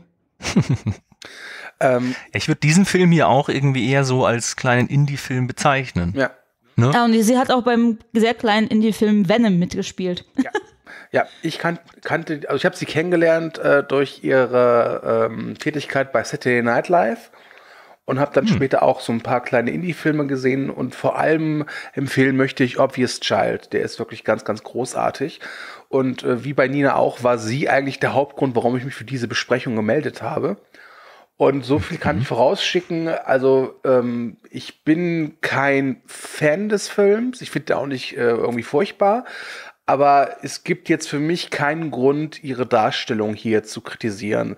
Ähm, sie hat, glaube ich, schon so eine Art Rollentypus gefunden, wo sie sich wohlfühlt und der auch perfekt zu ihr passt und den verkörpert sie hier wirklich äh, herausragend gut. Allein in die erste Szene, wenn halt ihrer, ihr Bild da von irgendwelchen, was sind das, Professoren oder, oder Kunstkritikern begutachtet wird, ähm, wie sie da einfach nur sitzt, das ist, allein das äh, fand ich schon irgendwie amüsant, aber auch halt tragisch. Also ich würde den Film schon als eine als Tragikomödie bezeichnen. Ja, ich fand auch, das Highlight war sie. Also irgendwie fand ich die so charmant. Und ähm, was ich jetzt auch schon dazu sagen kann, ist, dass der Film ja auch so ein bisschen schräg ist, aber nicht so, wie ich jetzt dachte. Also ich dachte, dass die Charaktere und so weiter noch mehr, also wenn wir auf der Insel sind, gibt's ja dieses Wikinger-Museum oder so, wo dann eben Zack Galifianakis als äh, Auswanderer da wohnt. Und ich dachte, es wird ein bisschen schräger und ein bisschen absurder, dass diese Charaktere halt äh, wirklich skurriler sind. Aber das hält sich eigentlich in Grenzen. Ja, das also ich Problem ist, finde ich, dass diese Figuren einfach nichts machen. Ich glaube, das ist so das größte Problem, dass diese Figuren einfach da sind. So außer Mhm. bei ihr ist es auch ein bisschen so, also ich finde, so zur Mitte des Films hin, also ich mochte den Film sehr gerne bis zu dem Zeitpunkt, wo sie das erste Mal, glaube ich, ausbricht und da aus diesem, dieser Scheune äh, zu dem Wikinger-Museum geht. Ab da ging es für mich für den, in dem Film so ein bisschen bergab. So auch vor allem mit den Figuren und so weiter. Der sie war, fand ich auch super toll. Sie ist halt charmant und äh, sympathisch und auch wenn sie halt unsympathische Dinge tut, ist sie immer noch äh, eine gute Hauptfigur, finde ich, und eine gute Hauptdarstellerin. Aber so, es ist halt, ich weiß, nicht, also ich, ich fand den Film dann irgendwann langweilig, weil ich merke das immer, wenn ich mehrmals zum Handy greife. Und das habe ich äh, in den ersten vielleicht 20, 30 Minuten nie, kein einziges Mal getan. Und dann ging es halt los, dass ich dann dachte, ja, hm. Ich fand auch den. Anfang des Films, also ich mochte zum Beispiel die Eltern und generell dieses Familiensetting da. Der, äh, der Vater, der wird von David Paymer gespielt. Den fand ich zum Beispiel sehr, sehr lustig irgendwie. Der hat ja so ein kleines, leicht latentes Aggressionsproblem schon fast und so. Aber der ist dann ja relativ schnell weg vom Fenster. Also irgendwie ähm, auf der Insel selber hast du ja schon gesagt, da passieren halt dann so Sachen. Und jetzt auch dieser Künstler-Mentor, also ich fand da so Nuancen schon ganz spannend. Also ob der, der ist ja so ein Einsiedler und der will dann ja so ein bisschen, blüht dann ja so ein bisschen auf durch sie und äh, verliebt sich dann so ein bisschen in sie vielleicht sogar und äh, dann klappt das nicht und so, aber es ist alles sehr ruhig und ja, die machen nicht so viel und dann ist der auch, also jeder von diesen Charakteren kommt gefühlt dann irgendwie so eigentlich nur fünf Minuten vor und so richtig viel erfahren über die tut man jetzt auch nicht. Nee, aber und auch Aber- diese, diese Beziehung zwischen den beiden, was du gerade angesprochen ja. hast. Es ist auf einmal, ähm, reden sie halt, äh, oder finden sie zusammen sozusagen, sind am, äh, am Strand und trinken Wein zusammen und sie sagt, ich äh, bin sehr dankbar, dass ich hier sein darf. Irgendwie, ich, äh, das war irgendwie eine norwegische Redensart, sagt sie dann so im Sinne von, ich bin ähm, dankbar dafür, dass du da bist oder ich äh, genieße es mit dir einfach zusammen zu sein, irgendwie sowas. Und wirklich, ich glaube, das sind wirklich so fünf Minuten später streiten sie sich. Ich habe also diese Entwicklung auch äh, hin zu dem, wir akzeptieren einander, aber dann brechen wir so, bricht unsere Beziehung und dann zum Ende hin. Das war für mich einfach so schnell. Da kann ich mir Schon, vorstellen, ja. dass es halt ähm, im Buch halt viel länger dauert Mhm. und dass es halt äh, ein bisschen besser funktioniert oder funktionieren könnte. Ja, und dann eben auch diese Konfrontation, oder so nenne ich es mal, weil sie dann ja diesen Alex Sharp-Charakter trifft, der da zu Besuch ist, weil er seinen Vater bestatten lassen will oder so. Und die ähm, haben dann ja auch so eine Art Verhältnis, sage ich jetzt mal, worauf dann dieser Künstlertyp auch ein bisschen eifersüchtig ist, eventuell. Ähm, aber diese Beziehung, sage ich jetzt mal, oder die hatten, finde ich, jetzt auch keine große Connection. Also das habe ich nicht ganz verstanden. Also vielleicht war das nur, weil das der einzige Mensch in ihrem Alter war auf der Insel oder so. Also keine Ahnung. Das, das fand ich auch relativ beiläufig und nicht groß interessant. Ich fand es zwar ganz schön, wie sie dann da, ja okay, das geht schon fast in Spoiler rein, aber so, die Message, dass sie halt mit sich selber dann im Reinen sein soll und äh, nicht jetzt halt gleich in die nächste Beziehung schlittern will oder so, waren nette Sachen drin. Ich fand den Film auch eigentlich äh, schön, vor allem äh, schöne Bilder, weil diese Landschaft da halt sehr schön ist, also von der Cinematografie oder wie man es nennt, fand ich ihn sehr schön. Ich, ich glaube, ich habe den Film auch ähm, ein bisschen äh, bin ich da ein bisschen gütiger, sage ich jetzt mal, weil ich danach halt, nachdem ich ihn gesehen habe, so Kritiken gesehen habe, auch auf Rotten Tomatoes und bei YouTube Rezensionen, wo es halt echt hieß, das wäre der schlimmste Film des Jahres und so. Und das konnte ich halt überhaupt nicht nachvollziehen. Also ich fand ihn auch nicht super aufregend und ich fand ihn auch nicht super clever oder auch nicht, äh, ja, top, aber als schlechten Film würde ich den auf keinen Fall bezeichnen. Nein, also der, der fließt schon gemächlich vor sich hin, ohne jetzt wirklich langatmig zu sein, finde ich. Aber das ist kein Film, den du dir angucken solltest, wenn du jetzt Lust auf Bohai und Spektakel hast. Das ist ein ganz ruhiger, auch kleiner und manchmal auch fast schon sehr intimer Film, äh, der für mich ein großes Problem hat. Das ist, ähm, dass er immer wieder versucht, so in, ins Absurde abzudriften, gerade halt eben diesem Mhm. Wikinger-Museum. Und ich mag absurde Komödien und gerade in Skandinavien, also die Skandinavier wissen, wie Ja. man das macht. Aber die wissen diese Aber Absurdität. es war halt leider kein einziger Skandinavier beteiligt. Ja, das stimmt wohl. ähm, das merkt man auch, weil die Skandinavier diese Absurdität auch benutzen, um die Geschichte ein bisschen voranzubringen und die Char- Charaktere weiterzuentwickeln. Und hier in The Sunlit Night war es einfach so, guck mal, der ist einfach ein bisschen irre. Punkt.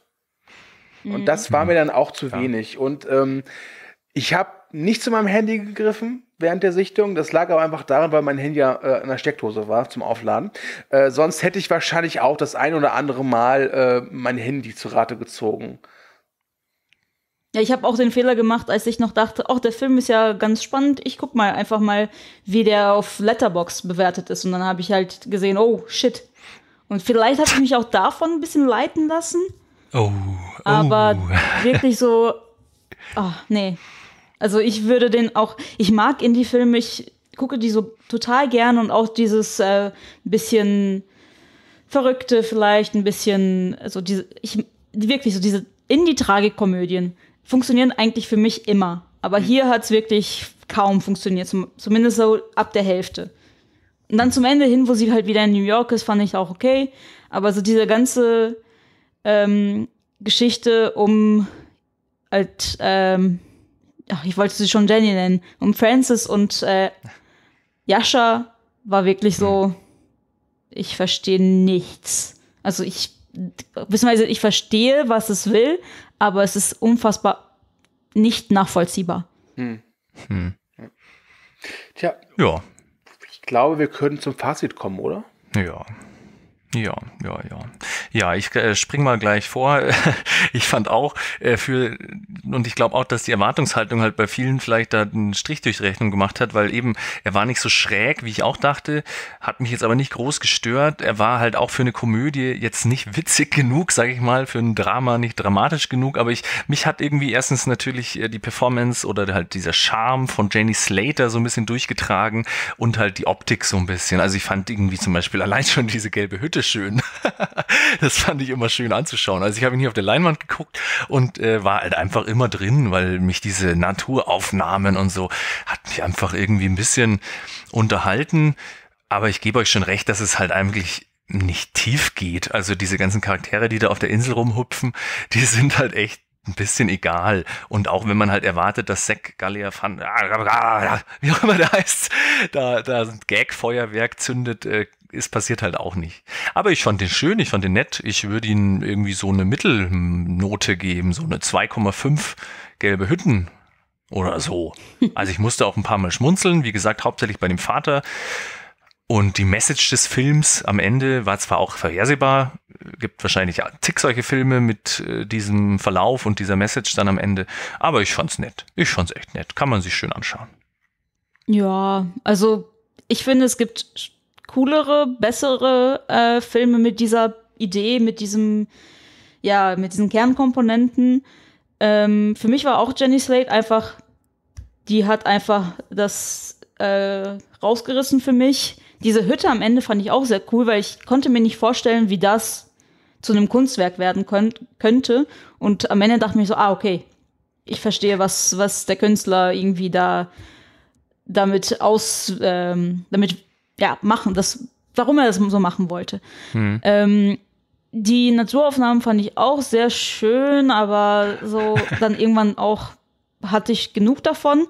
Es gab dann eine Stelle, wo es auf einmal so komisch wurde. Da hat, da war der Film, der Wikinger-Film, wo ich tot komplett rausgerissen war. Ähm, aber ja, das war ist- strange, gell, weil der war so, der war übertrieben gut gemacht für so ein. Bauerntheater, gell. Das war seltsam, ja. Ja, Aber das- da musste ich schon ein bisschen schmunzeln. Naja. Ja, ich auch, aber es war halt immer so, es gab diese Stellen, wo man, wo ich auch lachen musste, wo sie halt auch zum Beispiel ähm, Leute mit, mit ähm, Gemälden verglichen hat. Fand ich halt äh, sehr lustig, aber dann, Mhm. dann war es auch wieder so eine halbe Stunde nix davon. Es war für mich sehr unausgewogen in seinen Elementen. Ähm, und vor allem die, das Voice-Over, wo sie halt Hm, einfach aus dem aus dem Off erzählt hat, kam auch so manchmal ja, manchmal nein und dann halt äh, hatte sie eine andere Stimmlage so als im Film, fand ich auch ein Ja, bisschen schon, seltsam. Stimmt, Naja. das habe ich ganz vergessen. Das ist mir auch aufgefallen. Also von manchen filmischen Kniffs fand ich es auch teilweise ein bisschen, ja nicht amateurhaft, aber irgendwie unstimmig. Also da dachte ich mir auch, ist es jetzt von der Romanadaption übrig geblieben? Und vielleicht weiß halt auch die Frau, die das erste Mal ein Drehbuch geschrieben hat, auch, ähm, habe ich in den Interviews gehört, halt irgendwie vielleicht, naja, hättest du da halt einen e- echten Drehbuchautoren hinschreiben, Mhm. äh, hinsetzen sollen, der das adaptiert. Also ja, so ein paar Ungereimtheiten war da schon drin. Ja. Irgendwie über die ich aber aus dieser, aus mehreren anderen Gründen so, so, so, so gönnerhaft hinwegsehen konnte. Aber ich weiß nicht, also ich glaube, meine Bewertungen sind einfach immer, ich bewerte immer sehr, sehr hoch. Deswegen, ich hätte auch, oder ich habe dem Film auch eine 2,5 äh, Sonnenhütten-Bewertung gegeben. Aber ich fand ihn aber nicht so gut wie andere Indie-Filme, die halt in eine ähnliche Richtung gehen. Ähm, ja, punktuell kann ich äh, mich da komplett euch anschließen. Ich gebe auch 2,5 von 5 äh, gelben Sonnenhütten. Äh, war so ein im Prinzip so ein typischer Der Weg zu mir selbst Film, der halt hauptsächlich davon profitiert, dass er eine tolle Hauptdarstellerin hat. Und äh, einer der vielen Filme, die ich halt äh, verorten würde unter der Kategorie kann man sehen, muss man nicht. So. Ja.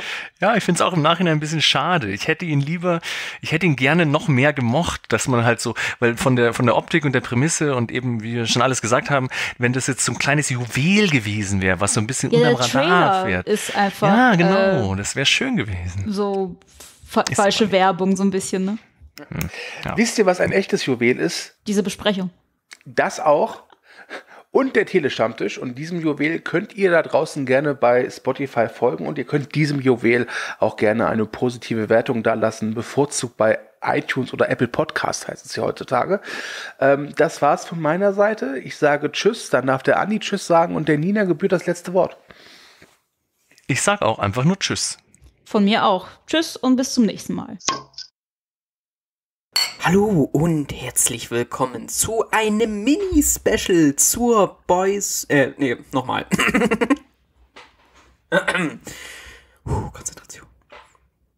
Hallo und herzlich willkommen zu einem Mini-Special hier in den Shots zum Boys Love Special der Anime Nights, welches es voraussichtlich am 28. September 2021 in über 200 Kinos in Deutschland und Österreich zu sehen gibt.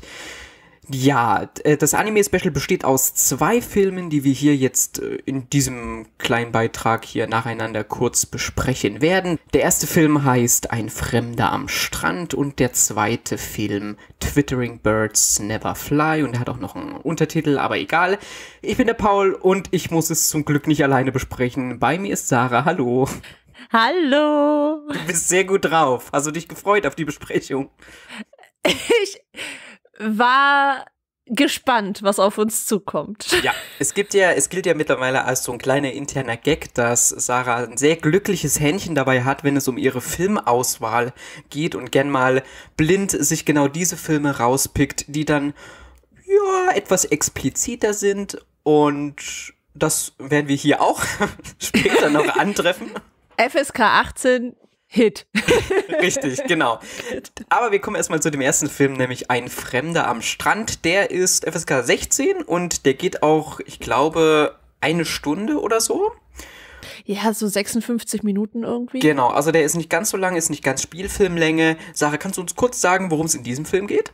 Natürlich. Ähm, in diesem Film geht es um Shun, der auf Okinawa lebt, einer Insel, die nicht die Hauptinsel von Japan ist. Und er trifft dort einen jungen Mann namens Mio und verliebt sich in den.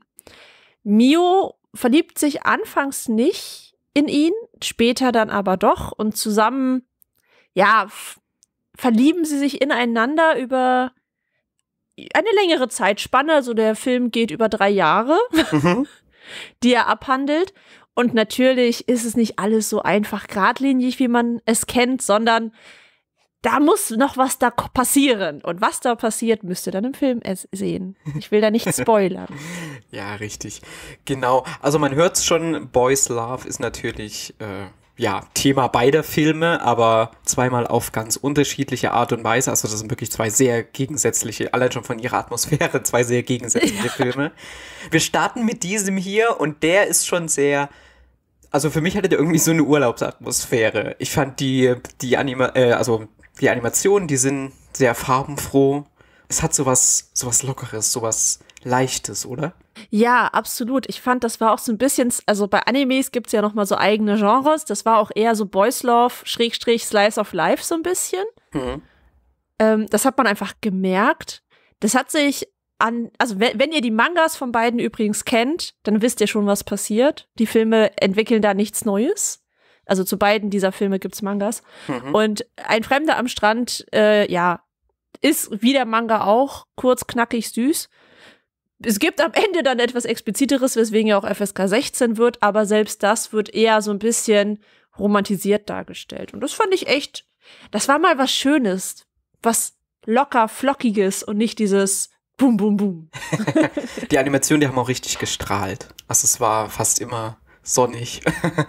Und ja, das, ich hatte so ein kleines bisschen so ein Problem. Der, äh, ja, der Film geht nun 59 Minuten oder irgendwas so knapp an die Stunde und will halt dafür schon einen ganzen großen Zeitraum erzählen. Und das wirkte für mich dann so manchmal so ein bisschen holprig. Beziehungsweise es hat sich für mich jetzt von meiner Wahrnehmung her nicht mal alles so richtig entwickeln können, wie es jetzt vielleicht so eine Liebesgeschichte hätte sein müssen. Ja, also da hätte die halbe Stunde mehr für eine Story schon geholfen. da ist es wirklich, also ist es wirklich der Manga verfilmt und diese Mangas sind ja oft, ich sag mal, sehr straightforward, also sehr direkt. Und das ist dieser Film leider auch. Der hätte sehr viel mehr Potenzial. Es gab ein, zwei Szenen, die ich super interessant fand, wo ich dachte, boah, da kannst du jetzt richtig was draus machen. Wo sie da auch in der, wo Mio in der Stadt ist und einfach fragt, was ist Liebe zu gewissen Personen, wo man richtig was draus machen könnte und das wird dann einfach abgehakt. Ja. So, dop, dop, hier, da, fertig, hast meine Karte. fand ich jetzt nicht so geil. Ich fand auch die Synchronisation, die fand ich sehr gut. Ich finde, die deutschen Synchronisationen von Animes werden seit, werden immer besser. Also wirklich, die ist super gut. Das Einzige, was mich gestört hatte, ist, dass der Name von Shun ungefähr in drei verschiedenen Varianten ausgesprochen wird. Und ich jedes Mal dachte, dass sie jetzt einen anderen Typen meinen. Aber, aber wo, wir bei, wo wir bei den Charakteren sind, ich fand, dass diese Charaktere, also sie haben zwar auch so, sag ich mal, ihre, in Anführungszeichen, kitschlichen Momente, aber ich fand, sie waren halt durchaus eigen, beziehungsweise sie hatten alle irgendwie ihre positiven und negativen äh, Eigenschaften und waren jetzt nicht nur irgendwelche Abziehbildchen, die da jetzt die äh, klischeehafteste äh, Love Story porträtieren, die es gibt. Das stimmt. Und was ich auch sehr angenehm fand bei den Charakteren, dass sie so ein paar echte Konflikte aus der Gesellschaft mit aufgegriffen haben. Also das Thema, darf ich schwul sein? Oder was passiert, wenn ich schon ja eine zukünftige Ehefrau theoretisch zugeteilt habe und dann aber merke, dass ich schwul bin? Das streift der Film so ein bisschen. Leider verarbeitet er das Thema nicht so ganz konsequent. Aber er streift es zumindest mal. Er sagt, da gibt's was. Ja, ja, ja, ja, ist auch eben wahrscheinlich der Laufzeit geschuldet. Also wirklich. Und, und auch so ein, so ein glücklicher Film, da passt das halt dann nicht, das in der Tiefe noch zu bearbeiten. Dafür, wie du Das gesagt hast, stimmt ist auch, halt ja. zu fröhlich auch Ja. irgendwo. Ja. Und ich würde es fast bei diesem Film dabei belassen. Jeden, der das wirklich interessiert, der kann mal gucken. Wie gesagt, es sind 200 Kinos, äh, in denen dieser Film im Doppelfeature wahrscheinlich, glaube ich, ja, mit dem anderen Ja, läuft. denke ich. Und, oder die gibt's auch schon ähm, vorbestellbar auf Amazon und Co. Also, wen das interessiert, da könnt ihr gerne mal vorbeischauen. Ich weiß gar nicht, wollen wir hier dem schon eine Punktzahl geben oder wollen wir einfach am Ende so eine Gesamtpunktzahl vergeben? Oder wie denkst du? Ich, wür ich würde denen schon getrennte Punktzahlen geben, Okay, dann, weil sie einfach so unterschiedlich sind. ja, dann überleg dir etwas und vergib es. Dann gebe ich mir Lohnenstückchen für diesen Film. If you know, you know. ich gebe ihm zweieinhalb Melonenstückchen. Ist ein solider Film, der aber doch ein paar Schwächen auch hat. Aber es ist kurzweilig und man kann es sich mal angucken. Ich vergib drei von fünf Millionenstücken. Also mir hat es schon bis auf seine Laufzeit, weil ich gedacht hat, ach, da hätte sich noch bestimmt was entwickeln können. Und ich war, ich habe ihn auch als erstes von diesen beiden Filmen gesehen, war dann erstmal so, also mich hat es, ich wurde in diesem Film so ein bisschen mitgenommen das fand ich ganz schön. Ja. Gut, Stilbruch. genau.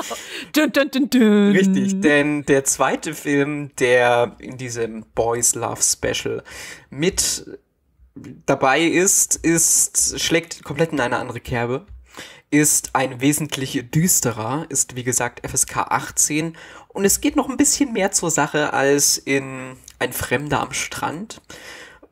Will- Willst du auch noch mal hier kurz zusammenfassen, worum es denn in Twittering Birds Never Fly geht? Gerne. Also, wir haben einen Yakuza-Boss, der heißt Yashiro, der ist ziemlich masochist masochistisch veranlagt und äh, hat gerne viele wechselnde Partner. Und er bekommt nun einen neuen Leibwächter, den äh, Domeki. Und in den, ich weiß nicht, ob er sich in ihn verliebt, aber er findet ihn auf jeden Fall interessant und möchte eigentlich äh, was mit ihm anfangen. Das funktioniert aber nicht aus diversen Gründen. Was kann man zu diesem Film noch sagen? In der Zusammenfassung, es ist nicht mehr Shonen Ei, das ist hier Yaoi. Also, das kann man vielleicht doch als Schnellzusammenfassung sagen. Gegenteil von Ein Fremder am Strand, denn nix ist hier mit, mit Farb, farbenfrohen und lockerer Atmosphäre und Strand und Sonne oder was. Der größte Teil des Films spielt sowieso nachts oder zumindest in dunklen Räumlichkeiten und ist sehr düster. Egal, ob es jetzt eben die Animationen sind oder ob es auch die äh, Geschichten oder die Charaktere, die Hintergrundgeschichten von den Charakteren sind. Hier ist wirklich alles sehr finster. Ja, auf jeden Fall. es, soll halt dieses düstere Yakuza-Thema, glaube ich, so ein bisschen darstellen. Und was es halt auch hat, es, es spricht total viele tiefergehende Themen an Hm. und arbeitet die leider so gar nicht aus. Und das ist so ein richtiges Problem in diesem Genre. Da werden so Themen hin und her geschmissen, wo man sich denkt, okay, das ist äh, eine ganz eigene 20 Jahre lange Psychotherapie, um da wieder auf, drauf klarzukommen. Und das wird halt so mal eben mit animiert und das kann ich gar nicht ab. Es gibt, es gibt kaum eine, eine Szene oder einen Charakter, der nicht irgendwie, dem nicht irgendwas wirklich krasses oder so widerfahren ist. Und das wird zwar zum Beispiel mittels Flashbacks oder so wird es auch eingebunden oder man geht auch mal in einem Dialog oder so drauf ein. So richtig herausgestellt wird es auch. Der geht etwas länger, der geht, glaube ich, 90 Minuten. Mhm. leider- Aber so Ja. ungefähr. Ja, aber ausgearbeitet wird es nicht, da stimme ich dir zu. Äh, Das ist ein richtiges Genreproblem. Also wenn ihr mit der Thematik sexuelle Gewalt ein Problem habt, weil ihr entweder davon betroffen seid oder das euch einfach nicht angucken wollt, ist der Film nichts für euch. Der geht damit sehr explizit um, ohne kritisch damit umzugehen. Das Ja, also ich sag mal, er verharmlost ja nichts, würde ich sagen. Er zeigt das ja schon alles sehr, also das schlägt auch schon. Es ist kein gemütlicher Film, wie ich finde. Genau, und er zeigt es aber auch. Das gerade diese letzte Szene. Ah, Ja, ja, ich verstehe. Fall, was sowas brauche ich nicht animiert. Ja. Danke. Ja. Ja, wir sind etwas sprachlos. Ja, d- das ist halt echt so ein FSK 18 Yaoi-Film. Im Manga wird sowas ja auch immer, also gerade in diesem Manga wird sowas sche- scheinbar sehr explizit mit dargestellt. Ich habe da noch mal ein bisschen rumgefragt, als ich gehört hatte, dass es dazu Manga gibt. Das heißt, wenn ihr den Manga gelesen habt und das toll fandet, dann ist der Film wahrscheinlich auch was für euch. als Außenstehende war das ein krasser Schnitt, gerade von dem ersten Film zum zweiten. Definitiv, oh ja. Da wird auch kein Blatt vor den Mund genommen. Das Einzige, was zensiert wird, ist in typisch japanischer Weise die Genitalien. Sie existieren nicht. Was, was kann man sonst noch zu diesem Film sagen? Die Animation ist gut.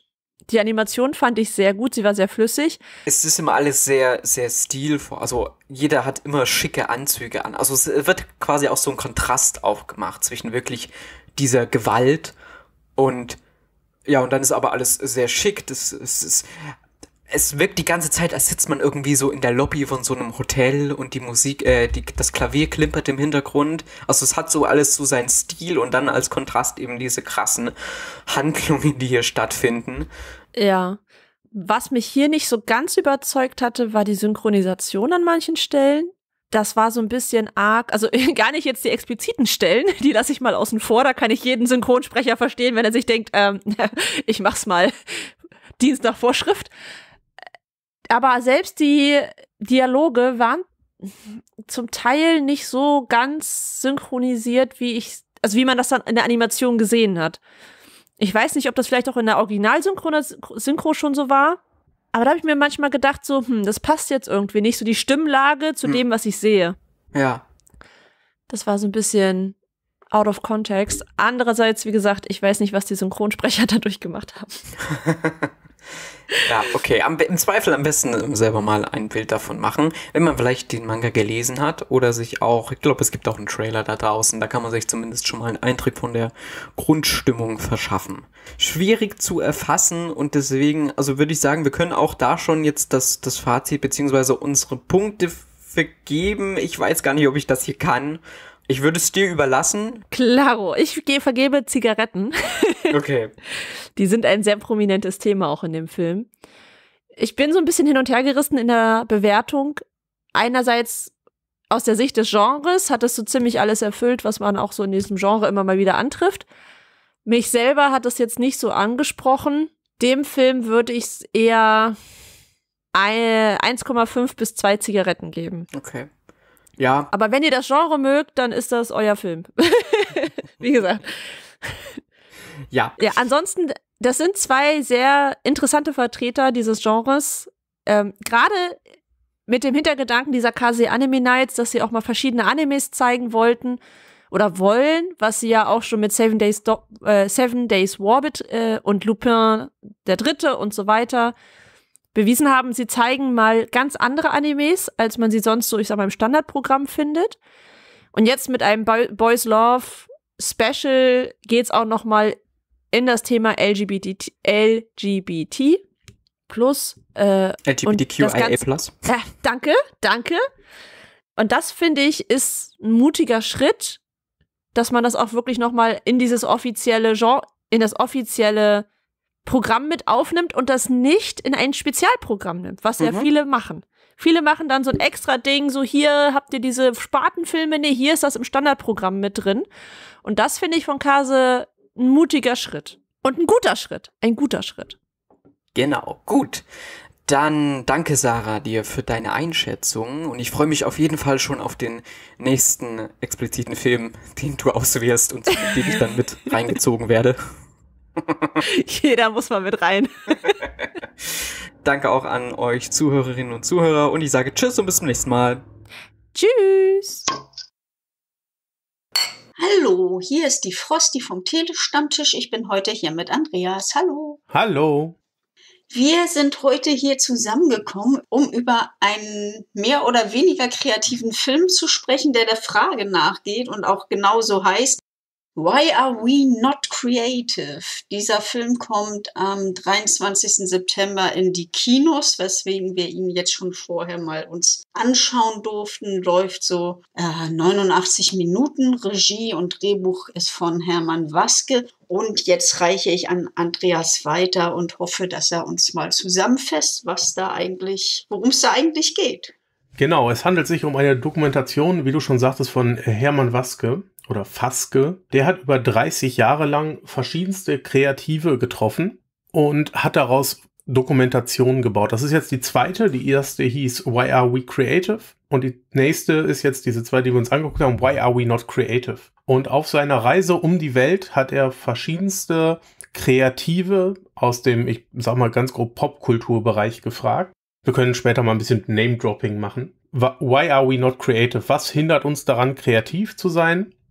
Und hat gerade versucht herauszuarbeiten, was politische Themen mit uns machen. Dazu gehört Zensur, Selbstzensur, Bürokratie, aber auch so ein bisschen die Angst, was wir aus der Kindheit wegnehmen. Wie wichtig ist Geld für Kreativität? Wie wichtig sind Kompromisse? Und wie sehr lenkt uns die Welt eigentlich davon ab, selber kreativ zu sein im Alltag?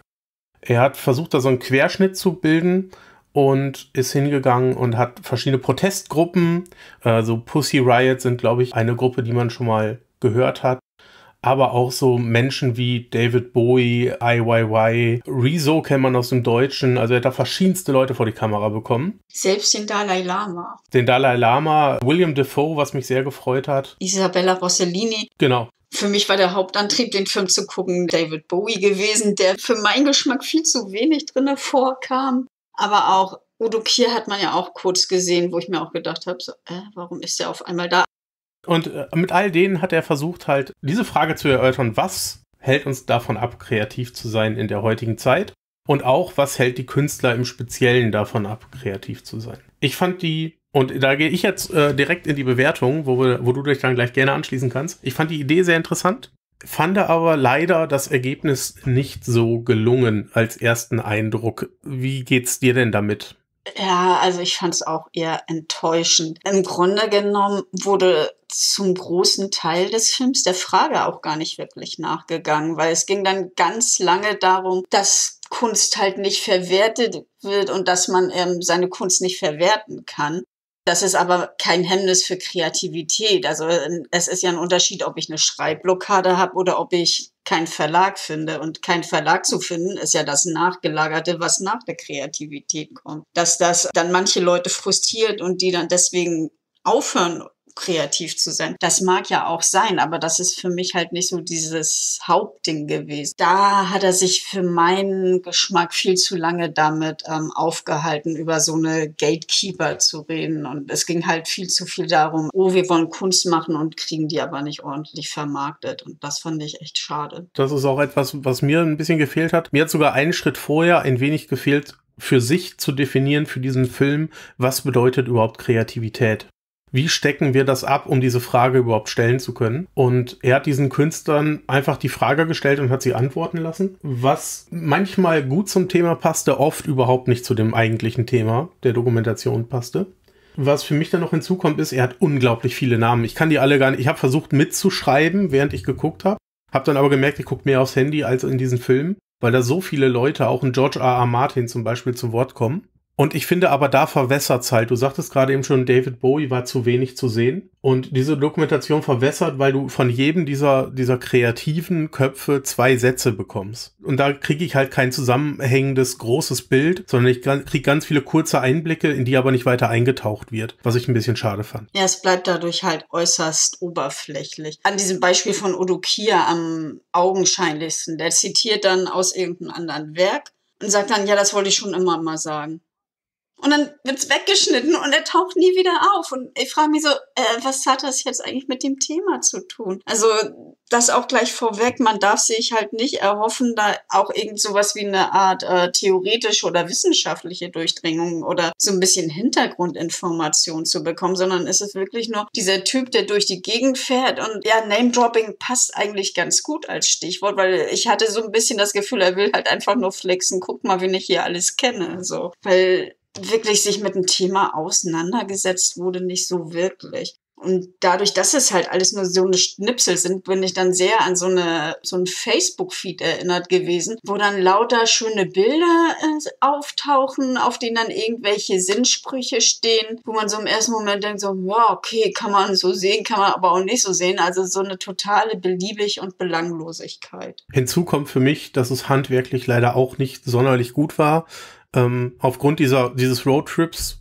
den er gemacht hat, hat er mit sehr vielen unterschiedlichen Geräten gefilmt. Mal war es ein Handy, mal war es eine professionelle Kamera, mal war es irgendwas dazwischen, so eine Kompaktkamera. Im Abspann sieht man auch, wie viele Kameraleute dabei waren. Also Leute, die wahrscheinlich mal die Kamera gehalten haben und er hat gesagt, komm, wir lächeln da mal rein. Und dadurch bekommt das Ganze eine sehr schwankende Qualität im Gesamten, was mich ein bisschen geärgert hat. Zu allem Überfluss hat er dann selber noch den Off-Text gesprochen, was er nicht so gut konnte, wie ich finde. Also mich hat das nicht so richtig abgeholt. Mhm, ja. Wir sollten, glaube glaub ich, langsam zu einer Bewertung kommen. Für mich ist es gerade mal, wenn wir eine Punktzahl von 5 als Höchstzahl angeben, dann mit gutem Willen eine 1,5. Das sollten sich, glaube ich, wirklich nur so die totalen Kunstfreaks anschauen, die wirklich auf Name-Dropping stehen. Und die 1,5 ist schon großzügig, weil halt, ja, Bonuspunkt für David Bowie und Michael Madsen, der zwischendurch so ein bisschen den Coolness-Faktor reingebracht hat, aber ansonsten. Und wie siehst du's?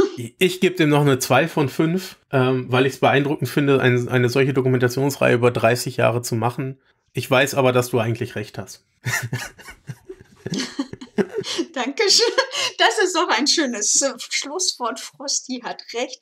Von daher bedanke ich mich bei dir und würde sagen, dann freuen wir uns, wenn ihr uns auch das nächste Mal wieder zuhört. Tschüss. Ciao. Sehr geehrte Damen und Herren, wertes Publikum, liebe Hörende, vielen Dank für eure Aufmerksamkeit und Zeit. Ich hoffe sehr, euch hat gefallen, was ihr gerade gehört habt. Wir, die Redaktion des Telestammtisch, betreiben ein semi-professionelles Podcast-Projekt zum Selbstmitmachen. Also meldet euch bei uns, wir beißen auf. Außerdem freuen wir uns immer über Feedback via Social Media und E-Mail sowie euren finanziellen Support. Ebenso frohlocken wir förmlich über Bewertungen auf den gängigen Podcast-Plattformen. Wer möchte, darf uns gern immer und überall empfehlen. Alle relevanten Links findet ihr in den Show Notes. Vielen Dank und bis zum nächsten Mal. Euer Andi.